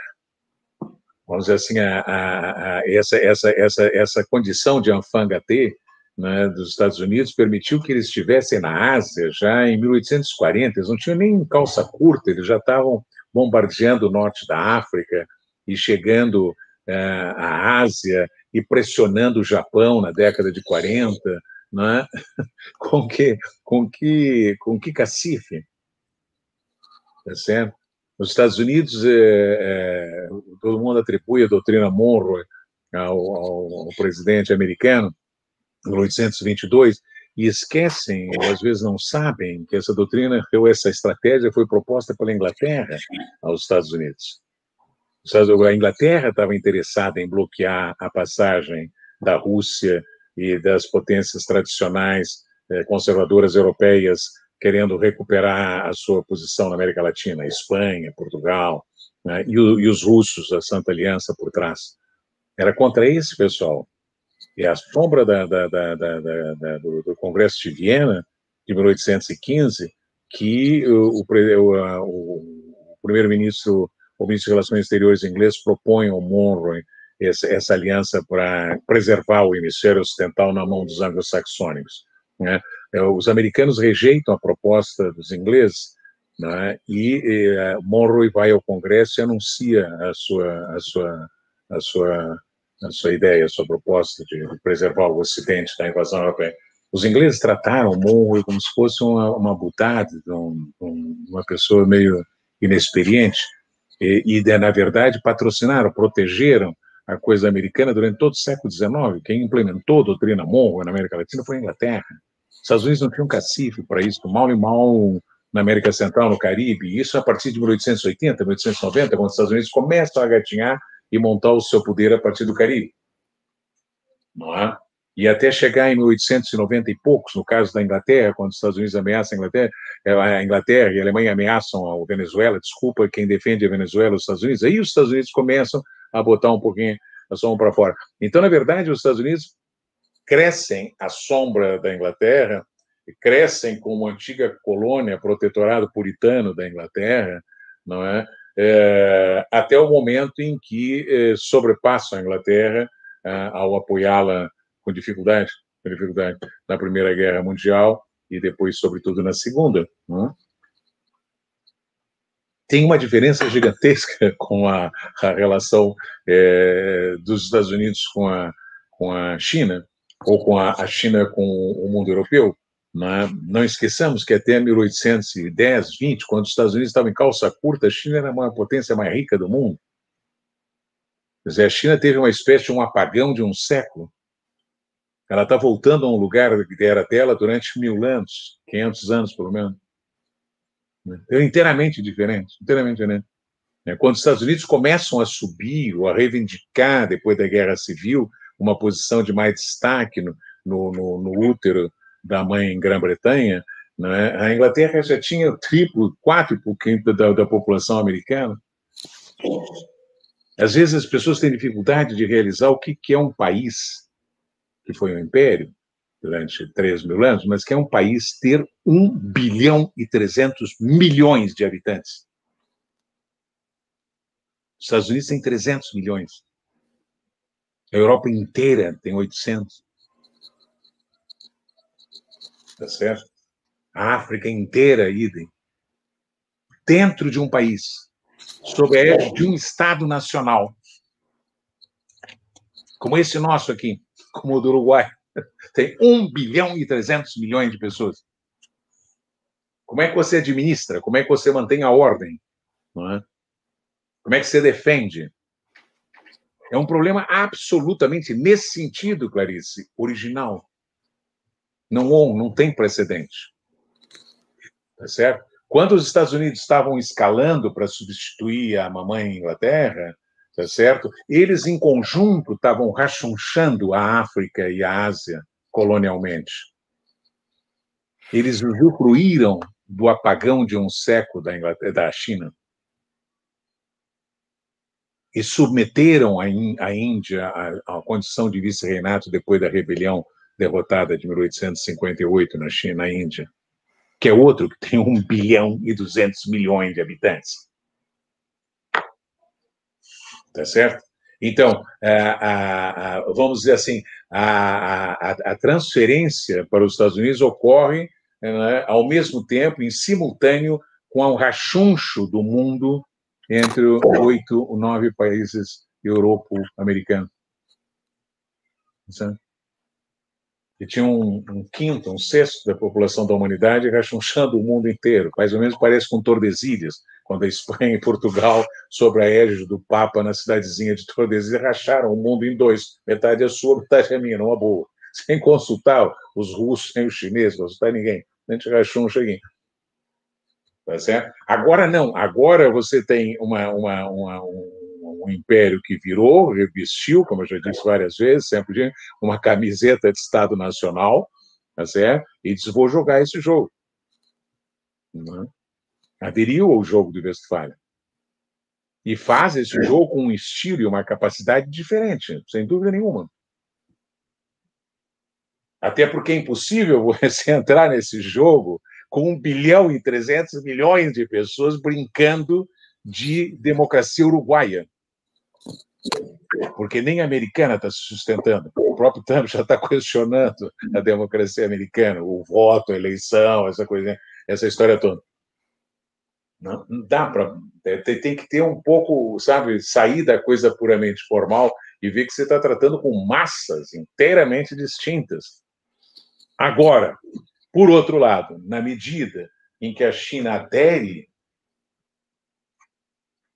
ao jogo de Westfália, tá certo?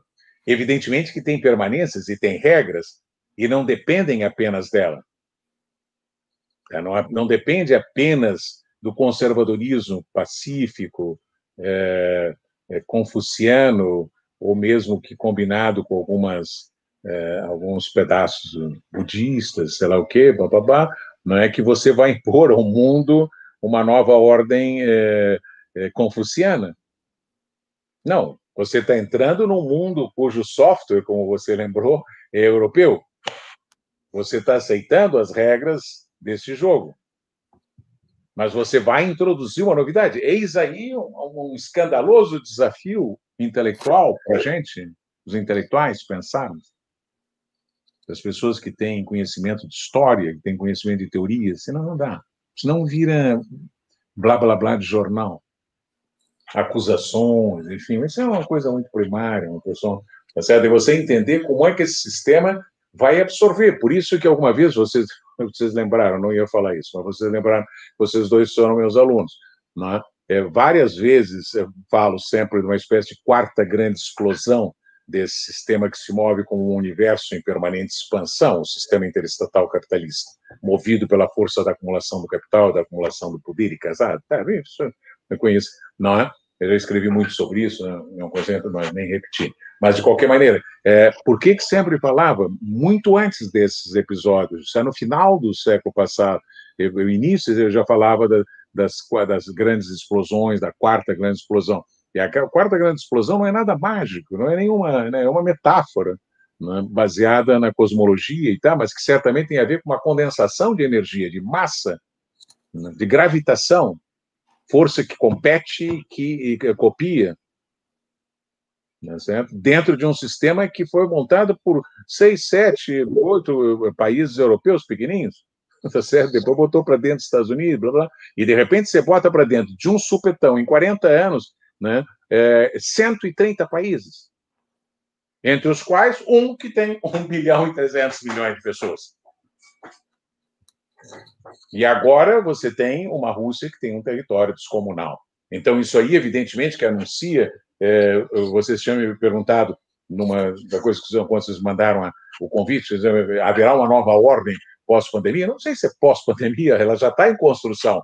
Não é? E é uma ordem que você vai tentar ajustar três elefantes, três mega estados imperiais. Os três sozinhos. Se botar a Índia dentro, eles controlam um terço da, da população do mundo e, sei lá, um quarto da, da, do território mundial. Então, é um sistema interestatal, obedece à coisa westfaliana, entende? mas tem características, quase eu diria, é, em homenagem ao Brodel, geográficas, de massa geográfica e demográfica, que é um desafio de pensar. Não adianta querer resolver isso com três, quatro fórmulas mágicas. É certo? Não tem. É muito difícil de saber. Com certeza a guerra desaparecerá, sei lá. Mas você, por exemplo, pode se perguntar: você, você diria, nesse quadro que está aí, se repetisse o século passado, se repetisse o que aconteceu nas transições entre os pequenos paizinhos europeus, entende? Né, que era uma máquina de competição e fazer guerra, entende? Não haveria possibilidade de você fazer esse trânsito, seja lá o que ele for e para onde esteja indo, sem uma guerra hegemônica.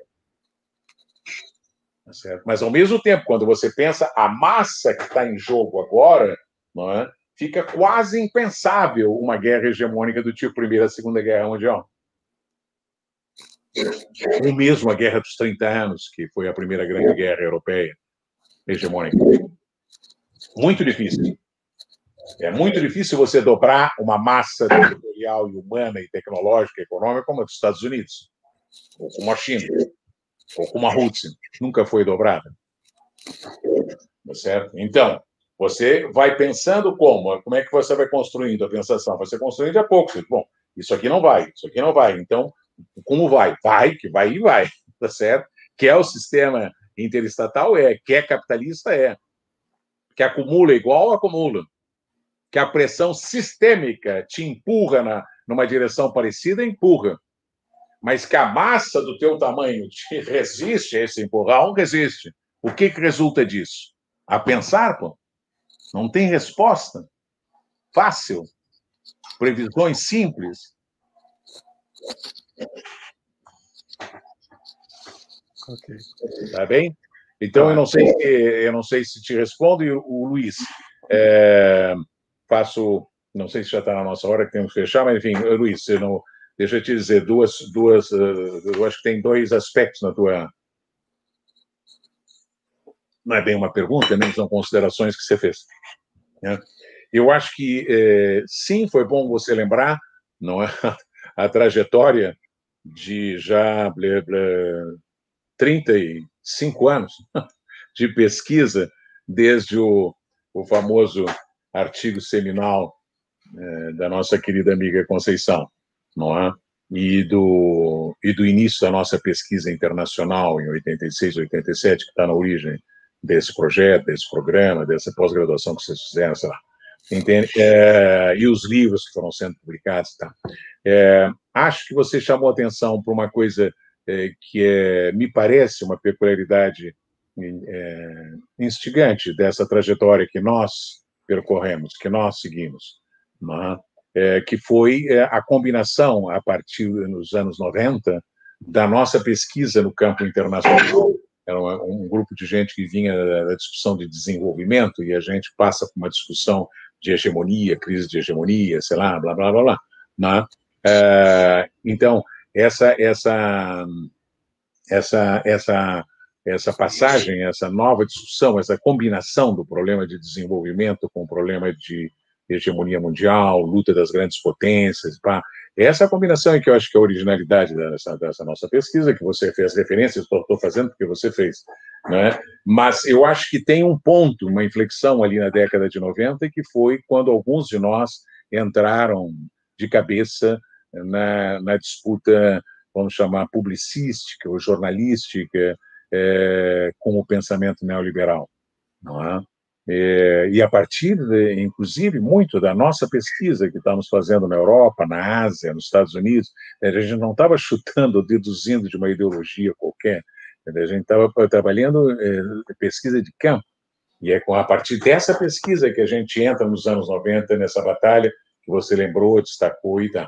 E é interessante porque outro dia, revendo um pouco isso aí, por conta de alguma aula, sei lá, né, é, eu reencontrei, remontei uma sucessão de três artigos que onde junta coisa internacional com a coisa é, nacional, com a coisa neoliberal, com a coisa que naquela época se chamava de consenso de Washington, não é? É, e que são um, é um artigo que escrevi em 2004, chamava-se Os Moedeiros Falsos, é? É, é, é, questionando ou desvelando qual era o projeto né, neoliberal da coalizão liderada é, pelo professor Fernando Henrique Cardoso. Né? E, e o, o, professor respondeu esse artigo escrevendo um artigo que chamava-se eu estou lembrado porque por acaso eu vi semana passada, você não lembraria, né? Eu chamava-se Reforma e Imaginação, o artigo que ele publicou na Folha de São Paulo em resposta ao meu artigo sobre os moedeiros falsos. E aí a Folha de São Paulo me deu uma réplica, direito a uma réplica, ou tréplicas, né? E, então eu, eu escrevi um que chamou-se em homenagem ao Foucault, As Palavras e as Coisas, o artigo. E eu estava lembrando, e eu estava lendo esse outro dia, e estava vendo que a, a tese central da minha resposta ao Fernando Henrique Cardoso era, entende, a sua ideia de globalização encobre um projeto de construção de um império, é um projeto de poder, não é um projeto de liberação de mercados que vai igualizar a riqueza e as reformas, enfim, blá blá blá. Enfim, na época o professor estava convencido dessas coisas, não sei se ainda hoje pensará esses mesmos negócios. Mas, de qualquer forma, é, o, o, importante é porque naquele momento já aparecia, mesmo num artigo de jornal, na Folha de São Paulo, né, essa combinação. Isso aqui é um projeto imperial. Atenção, o que se chama de globalização existe nas finanças, na desregulação de mercados, né? mas isso só funciona porque tem uma hierarquia de poder. E é não ter percebido essa hierarquia de poder que faz com que esses senhores, não sei se o professor Cardoso, mas que esses senhores que o seguiram hoje batam no peito, entende? Para dizer a gente não viu, entende? Que a globalização é desigualizante, ela é polarizante, entende? Tururu, tururu, tururu. Tá certo? Olha só, olha só. Não sei se é pior, pior que os outros que não viram que que a globalização ia permitir que os chineses roubassem as nossas ideias, a nossa tecnologia. Né? É? Então, eu acho que essa combinação é uma marca dessa pensação e fico contente que você tenha lembrado. Passo em seguida e encerro a tua pergunta sobre a centralidade da questão do poder hegemônico. É, exatamente, por isso que lembrei até do artigo é, A Palavras das Coisas, porque a resposta, o professor Cardoso, era a, o, o calcanhar desse assunto, professor, está numa luta de poder, enquanto o senhor está embevecido com reformas liberalizantes né? achando que isso aí vai provocar o desenvolvimento do Brasil. Tá, tá, tá, tá. É, tá certo? Agora, eu te diria, Luiz, tá certo, que talvez não fosse nem a, a, a questão propriamente só do poder, tá certo? Eu acho que a, a, o ponto ali na, na, na, virada, depois um pouco mais à frente, foi uma coisa que até eh, chamei em algum momento o paradoxo do hiperpoder. Eu acho que esse é o grande salto que muda, pelo menos a minha reflexão, já no início do século XXI. Nas primeiras coisas que escrevi no século XXI e num livro que chamou-se O Poder Americano, que eu acho que o primeiro tópico do livro eu chamei O Paradoxo do Poder, do, poder, é, do Superpoder, do Hiperpoder. E qual era a ideia? Era exatamente tentar responder essa mesma pergunta que comecei à tarde. Mas como é que, tendo todo esse poder, os Estados Unidos jogou esse negócio na lata do lixo? E agora quer culpar os chineses? Tá certo? O que, que fizeram com o poder que vocês tinham?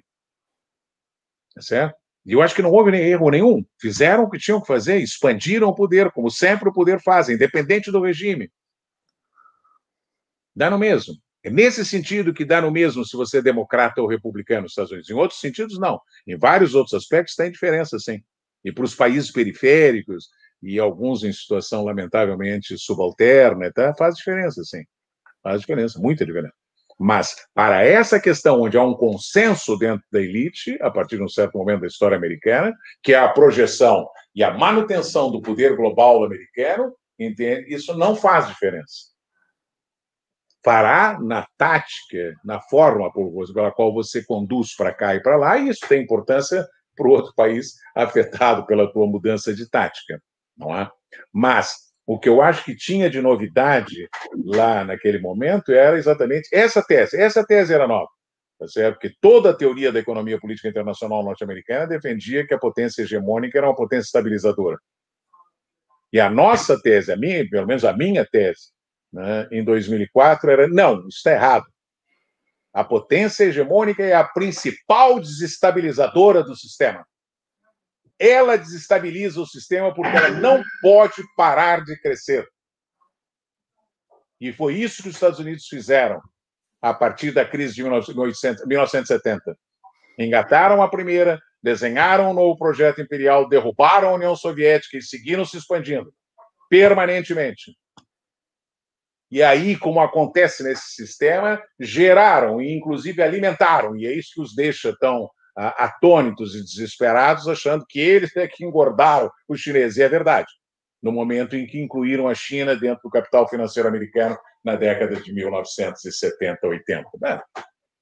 Mas isso permitiu os Estados Unidos sair da crise de 70 e dar um salto e virar a hiperpotência. Esse é o outro lado de uma visão que não é dialética, que é entender sim os Estados Unidos contribuíram à, à expansão chinesa, mas a expansão chinesa permitiu os Estados Unidos transformarem na potência única do mundo na década de 90 e derrubar a União Soviética. São, são, tem ida e volta né, nesse jogo, e seguirá tendo.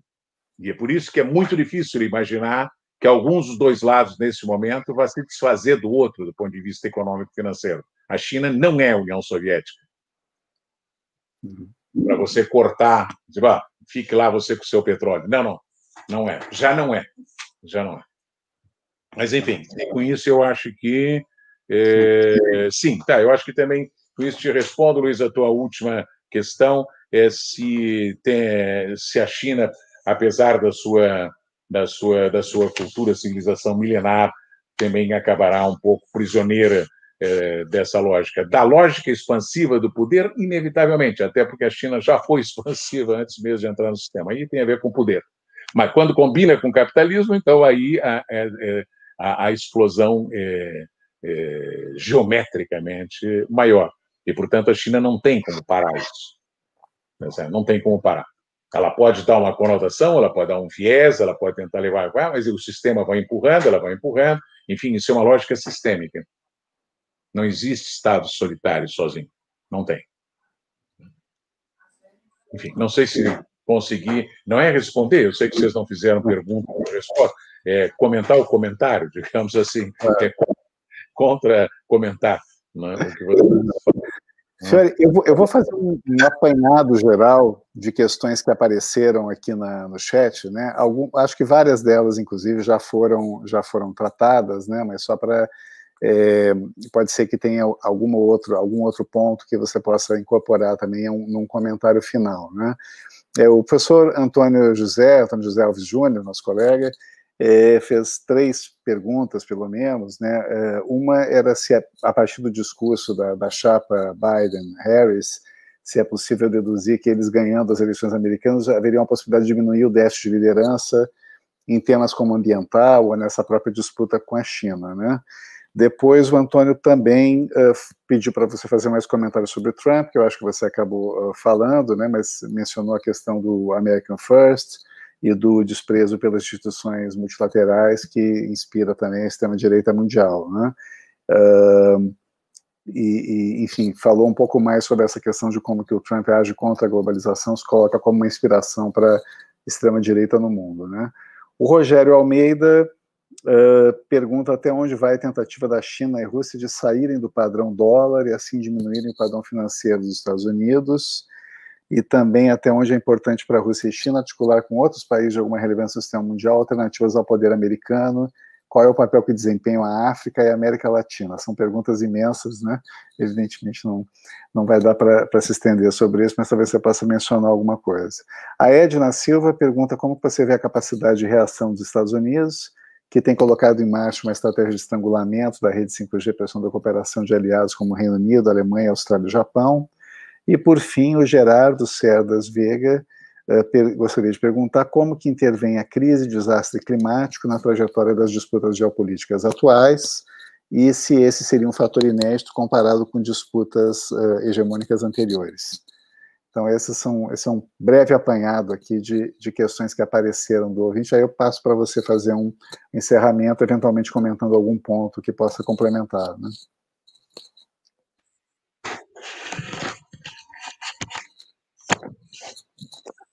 Bom, eu acho que, em parte, é, né, no, é, nesses minutos anteriores, eu acho que eu uhum. é, sugeri já é, o que poderia ser uma resposta a essa pergunta que você tem, Antônio José, eu tenho, a torcida do Flamengo tem, entende se o Biden e a Harris é, alterarão o que propriamente na política externa americana. Os americanos discutem isso hoje todo dia, tem revistas especializadas dedicando a discutir, tentar descobrir, enfim, quais são os pontos centrais da política externa proposta pelo, pelo Biden-Harris versus o Trump.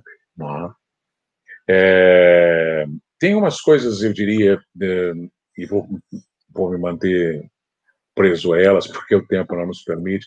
Tem umas coisas que eu acho que é mais fácil de prever, ou antecipar, ou supor, supor, não é? Por exemplo, que é, o Biden e Harris, é, num primeiro momento, farão um forte movimento simbólico de retorno ao cosmopolitismo liberal é, democrata. E não só democrata, enfim, americano é, durante o século XX, é, depois da Segunda Guerra e até agora. Até, enfim, até o, o Trump. É? Eu acho que farão.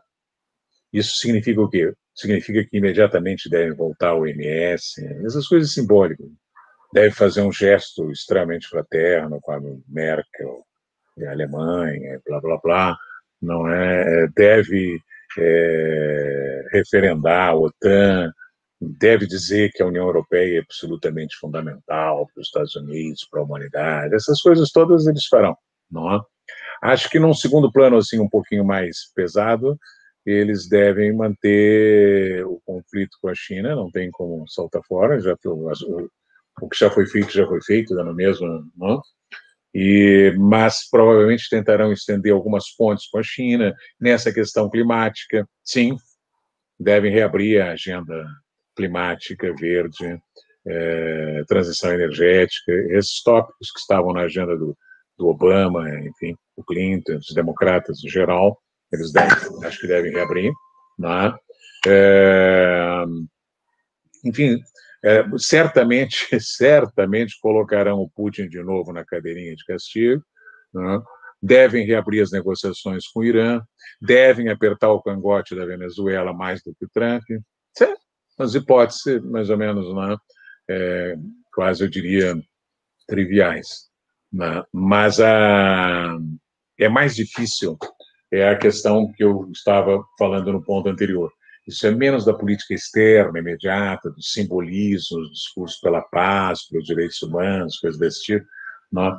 não e mais o que, é, de fato, não é, é o governo Biden-Harris faria em combinação com o comando, que tem um alto grau de autonomia militar da infraestrutura imperial militar global.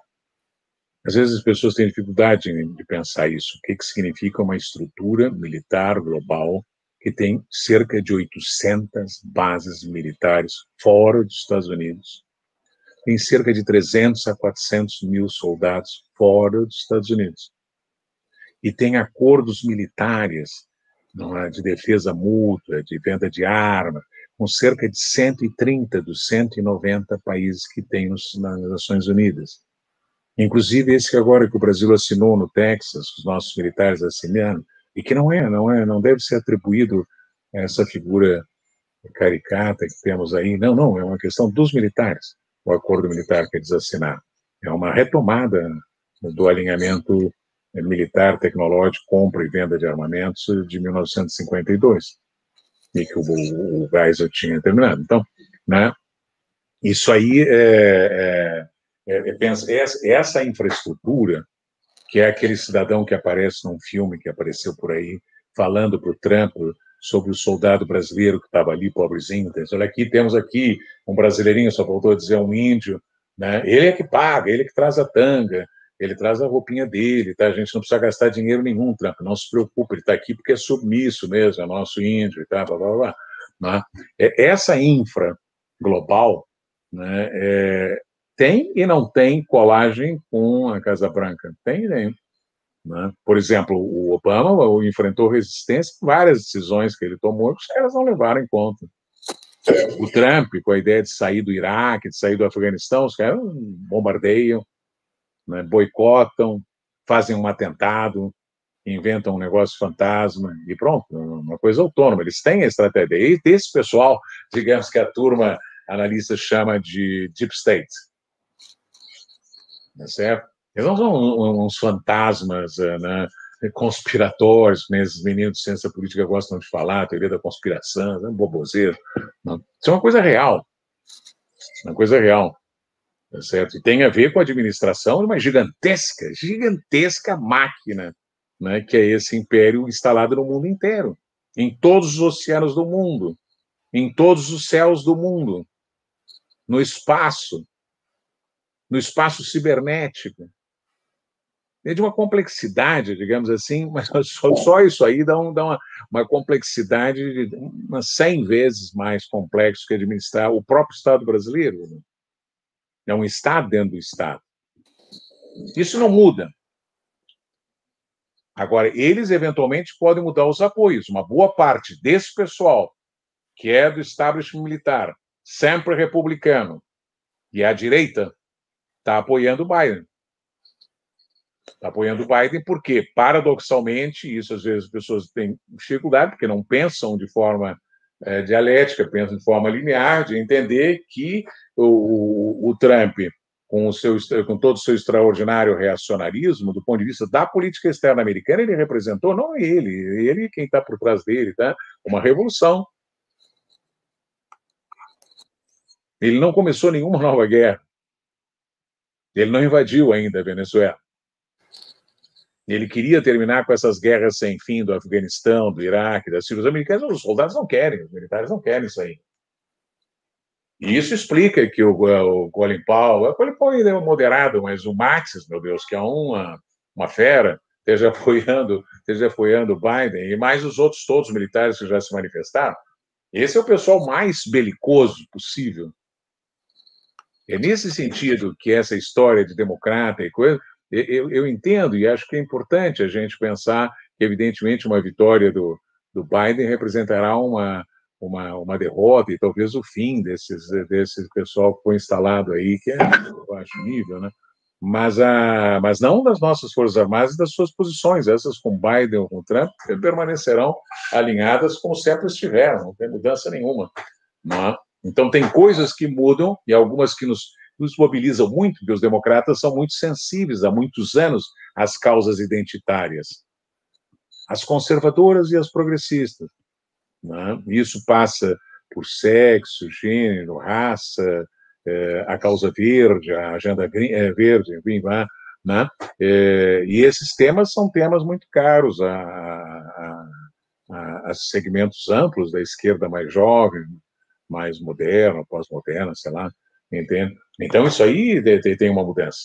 Mas nesses temas mais hard que nós estamos falando, eh, a margem de manobra é pequena e quando você tenta dar um, cavalo de pau no caminhão, como esse cidadão lá tentou dar, o pessoal vem e te empurra de volta. E se você não vai para o lugar, né, eh, o Bolton escreve um livro dizendo que ele é um sacana, tá, tá, e passa a apoiar o Biden, o próprio impeachment, que foi um impeachment armado por essa turma do Bolton, então, e os democratas têm que colocar.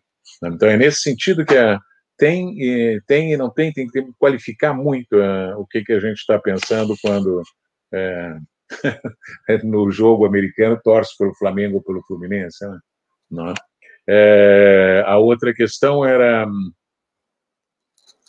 Uh,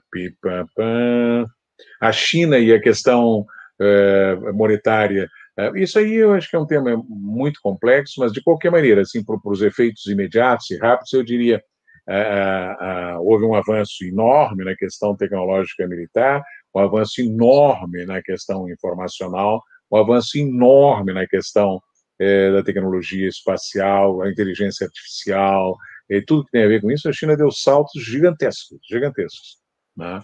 Agora, e isso tem repercussões diretas, imediatas na guerra. Não em, propriamente no tipo de armamento, sim, no tipo de guerra que você faria. Não é? É, mas a questão, vamos dizer assim, monetária e financeira, aí o buraco é mais embaixo, vai mais devagar. Não é? Mas aí, digamos, se você tem apenas duas moedas até hoje na história do sistema internacional europeu e o sistema interestatal capitalista que foram é, é, globais, quase globais, que é a Libra, com a potência da Grã-Bretanha e, e, o dólar. Ponto. Outras moedas com espaços regionais e tá, na Europa e coisa. Né? Quer dizer, hoje o, o yuan, eu acho que tem um, não chega a ser nem 5 ou 6% das transações comerciais mundiais é feito em yuan. Mas é, não há nenhuma possibilidade. De pensar que o iene vai substituir o dólar. Nem creio que os chineses estejam. Eles vão expandindo lentamente, como os americanos começaram a fazer com o dólar em 1880, 1890, começaram pela América Central, pequenos acordos quando eles foram impondo o dólar, blá, blá, blá. É uma luta, é uma, é, não tem, não tem, nesse campo da moeda não tem a coisa da escolha livre, do homo econômico, que olha, não vou preferir fazer a minha, a minha negociação com a moeda uruguaia. Não, não, eu vou fazer. Não, isso aí é uma guerra. A moeda é um, um instrumento de luta, é um instrumento de poder. Toda potência que ganha impõe sua moeda, sua ética, seus valores, suas armas, sua moeda. Não. E, portanto, conquistar posições no campo da moeda é o que a China está fazendo lentamente. Hoje já cresceram muito nos últimos anos a porcentagem de trocas feitas entre China e Rússia em moeda local, entre China e os petroleiros do Oriente Médio, com o Irã, com a Venezuela, assim, isso vai né? por esse caminho, vai devagar. Em geral, quando você se aproxima de tentar se impor, é onde a reação é mais violenta, porque aí realmente junta as armas com a finança para destruir a tua ameaça. Não? A capacidade dos Estados Unidos de recuperar, e eu não entendi direito se era recuperar a supremacia é, tecnológica, da ponta tecnológica em certos setores, com o G5 tá? não? Eu acho que os Estados Unidos têm uma capacidade de, de, de retomada gigantesca, porque tem uma massa instalada de capacidade não é, é, no campo tecnológico, em todos os campos, então eles conseguem recuperar os atrasos. Nesse caso específico da G5, realmente eles ficaram, ficaram para trás, e há campos, sobretudo no campo da inteligência artificial, onde os chineses deram grandes passos à frente.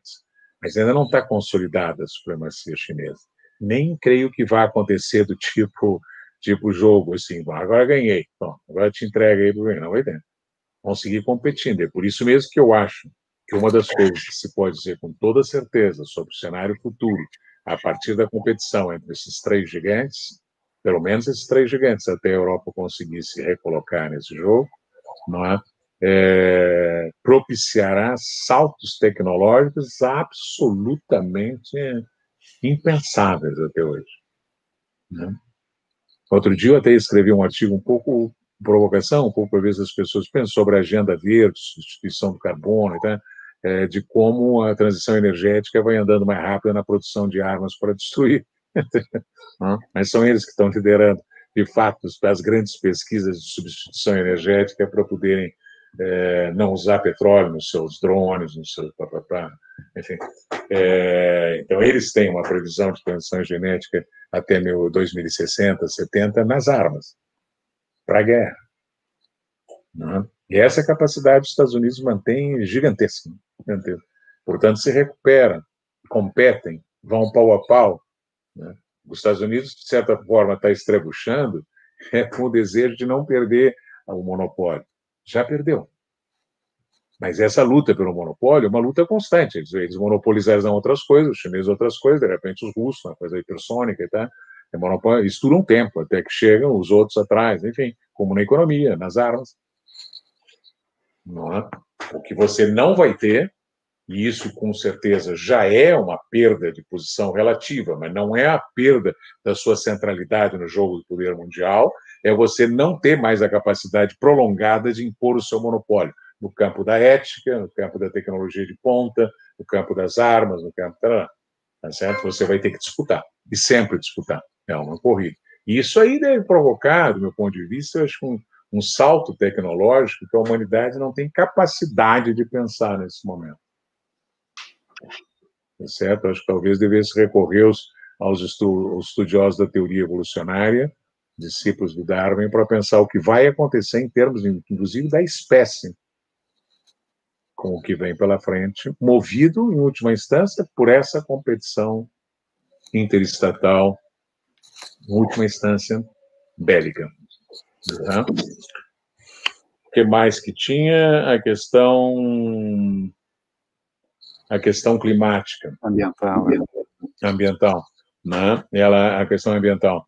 Eu acho que a questão ambiental, até, até um tempo atrás, ela era quase que um monopólio europeu. Não é? é digamos, é como se a Europa tivesse ficado a criadora do software do sistema, né, que tivesse ficado responsável, já tinha ficado depois da Segunda Guerra responsável pelo financiamento da, das causas de boa vontade na África, na América Latina, tá? e, os, e os pequenos povinhos nórdicos ficaram distribui prêmio Nobel, tá? essas coisas assim, Holanda, tá? É, então, ah, mas é porque não é só por isso, é porque eles têm dificuldades sérias do ponto de vista energético, para começar, não é? E, e portanto, eles têm um, uma, um compromisso com essa, com essa causa, com as causas climáticas e tal, que vai além de uma, de uma perspectiva ética papal, por exemplo. O Papa tem, tá, tem uma encíclica importante sobre esse assunto, um, que deduz a partir da ética. Esse pessoal tem essa posição, medida porque se deduz a partir das suas limitações é, do ponto de vista energético e climático e tal, tal. Agora, fora daí, não é? acho que os chineses, é, na última duas décadas, década e meia talvez, mudaram muito a sua posição e adernaram muito na direção de apoio dessa da, da agenda climática e ambiental. Não é? Muito, muito. Né? Incluíram essa questão nos seus planos quinquenais, né, com uma questão estratégica. Não era, não era. A posição chinesa, em 1990, a entrada do século, era entende cada um ao seu tempo. Vocês fizeram ah, o estrago que fizeram, não vão querer que agora a gente pague a conta de vocês. Mas agora não. A China já opera agora como grande potência. Né? Já opera como cogestora do sistema mundial. E nesse sentido, por razões internas, razões internas muito pesadas, climáticas e energéticas, eles estão patrocinando. É pouco com relação a, ao marco sistema de produção, não é, é pouco, mas está andando. Né? Os Estados Unidos, durante o período Trump, eis aí um, um, eis aí um tópico que muda muito. Durante o período Trump, reverteu quase tudo para trás. Ele acabou de abrir, inclusive, a exploração do petróleo no Alasca, que está há muito tempo interditada e tal. E é provável que, se o Biden ganhar, ele volte tudo isso para trás. E aí eles ficarão numa outra clave, imitando um pouco a América Latina, quando vai do, liberalismo para desenvolvimentismo, liberalismo para desenvolvimentismo, e ficam nessa gangorra sem sair do lugar. É? Mas acho que é um tema, é um tema na agenda.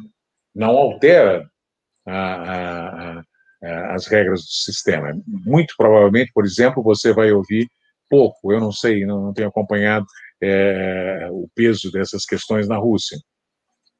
Por quê? Enfim, porque é um, um, tem um território absolutamente gigantesco, com uma população pequena para o território e com um potencial energético gigantesco, é uma potência energética. Né? A Rússia tem tudo. Eles têm petróleo, eles têm gás, eles têm carvão, eles têm energia nuclear, é, têm minerais estratégicos e tal. Então, a, a, a, digamos, não é, não é uma causa russa emergencial, digamos, é, do ponto de vista material, do ponto de vista do interesse material é, dos russos e da Rússia como potência energética, tá certo? Mas, é, enfim, eles têm participaram, têm participado dos fóruns e tal, não são campeões. Então, você vê que isso aí, você se olhar a partir dessas três, esses três elefantes que estão pintando como potências centrais no jogo desse, dessa, dessa primeira metade do século XXI, as posições ou mudam ou variam, ou não são exatamente convergentes e tal, e, e por isso de certa forma, a velha Europa é que fica como grande patrocinadora da causa, basta dizer que os grandes, as grandes conferências é de Paris, é Copenhague, enfim, é, é, são cidades é, predominantemente europeias. Não é? Eu não sei se, enfim, é um comentário. Não, não isso. Então é isso. Agradeço mais uma vez, muitíssimo, né? Foi fantástico, excelente. Fico feliz também que a gente vai ter o, o vídeo registrado no YouTube depois para voltar a assistir, refletir, né? São questões que demandam muita, é, muita, muito estudo, muita, muita análise, né? Agradeço muitíssimo também aqui a participação da Clarice, do Luiz Felipe. Prazer revê-los, né? Agora só virtualmente que a gente tem essa essa chance, né, só por, por, meio de por meios eletrônicos atualmente, né, e agradecer também o nosso público que, como sempre, participou muito intensamente. A gente tem tido aí é, algumas centenas de participantes durante a atividade e normalmente ficando disponível no YouTube. Depois de um tempo, isso se, se expande, chega às vezes até a casa dos, dos milhares, né? E certamente com temas que exigem uma densidade, né? Que são interlocutores muito muito especiais aí que estão que nos honrando com a sua participação, né? Então, com isso podemos encerrar mais uma atividade né, dos debates CEA. Só uma última palavrinha, né? aproveitando essa forma de comunicação. É, que eu confesso que no meu caso é extremamente vantajosa, porque eliminou alguns problemas da minha vida pessoal, um deles é o avião, entre aeroporto, é certo? Ou, por exemplo, ter que ir até ah, ah, onde está a universidade, né? É, uma viagem gigantesca, tá? Então, eu, eu, digo, do meu ponto de vista, esse negócio da, da, da, quarentena foi magnífico, porque você abre a porta, senta e fala, pô, a Clarice eu não vejo ela há não sei quanto tempo, Luiz, acho que a última banca, sei lá quando, não é?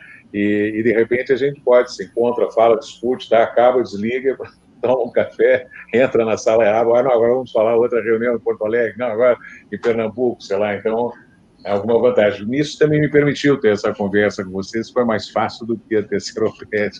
Um grande abraço para vocês, foi bom ter reencontrado. Ah, ótimo, muito obrigado. Agradeço, agradeço a participação de todos. E quarta que vem teremos, continuamos os nossos debates de série sempre às quatro e meia. Um abraço a todos.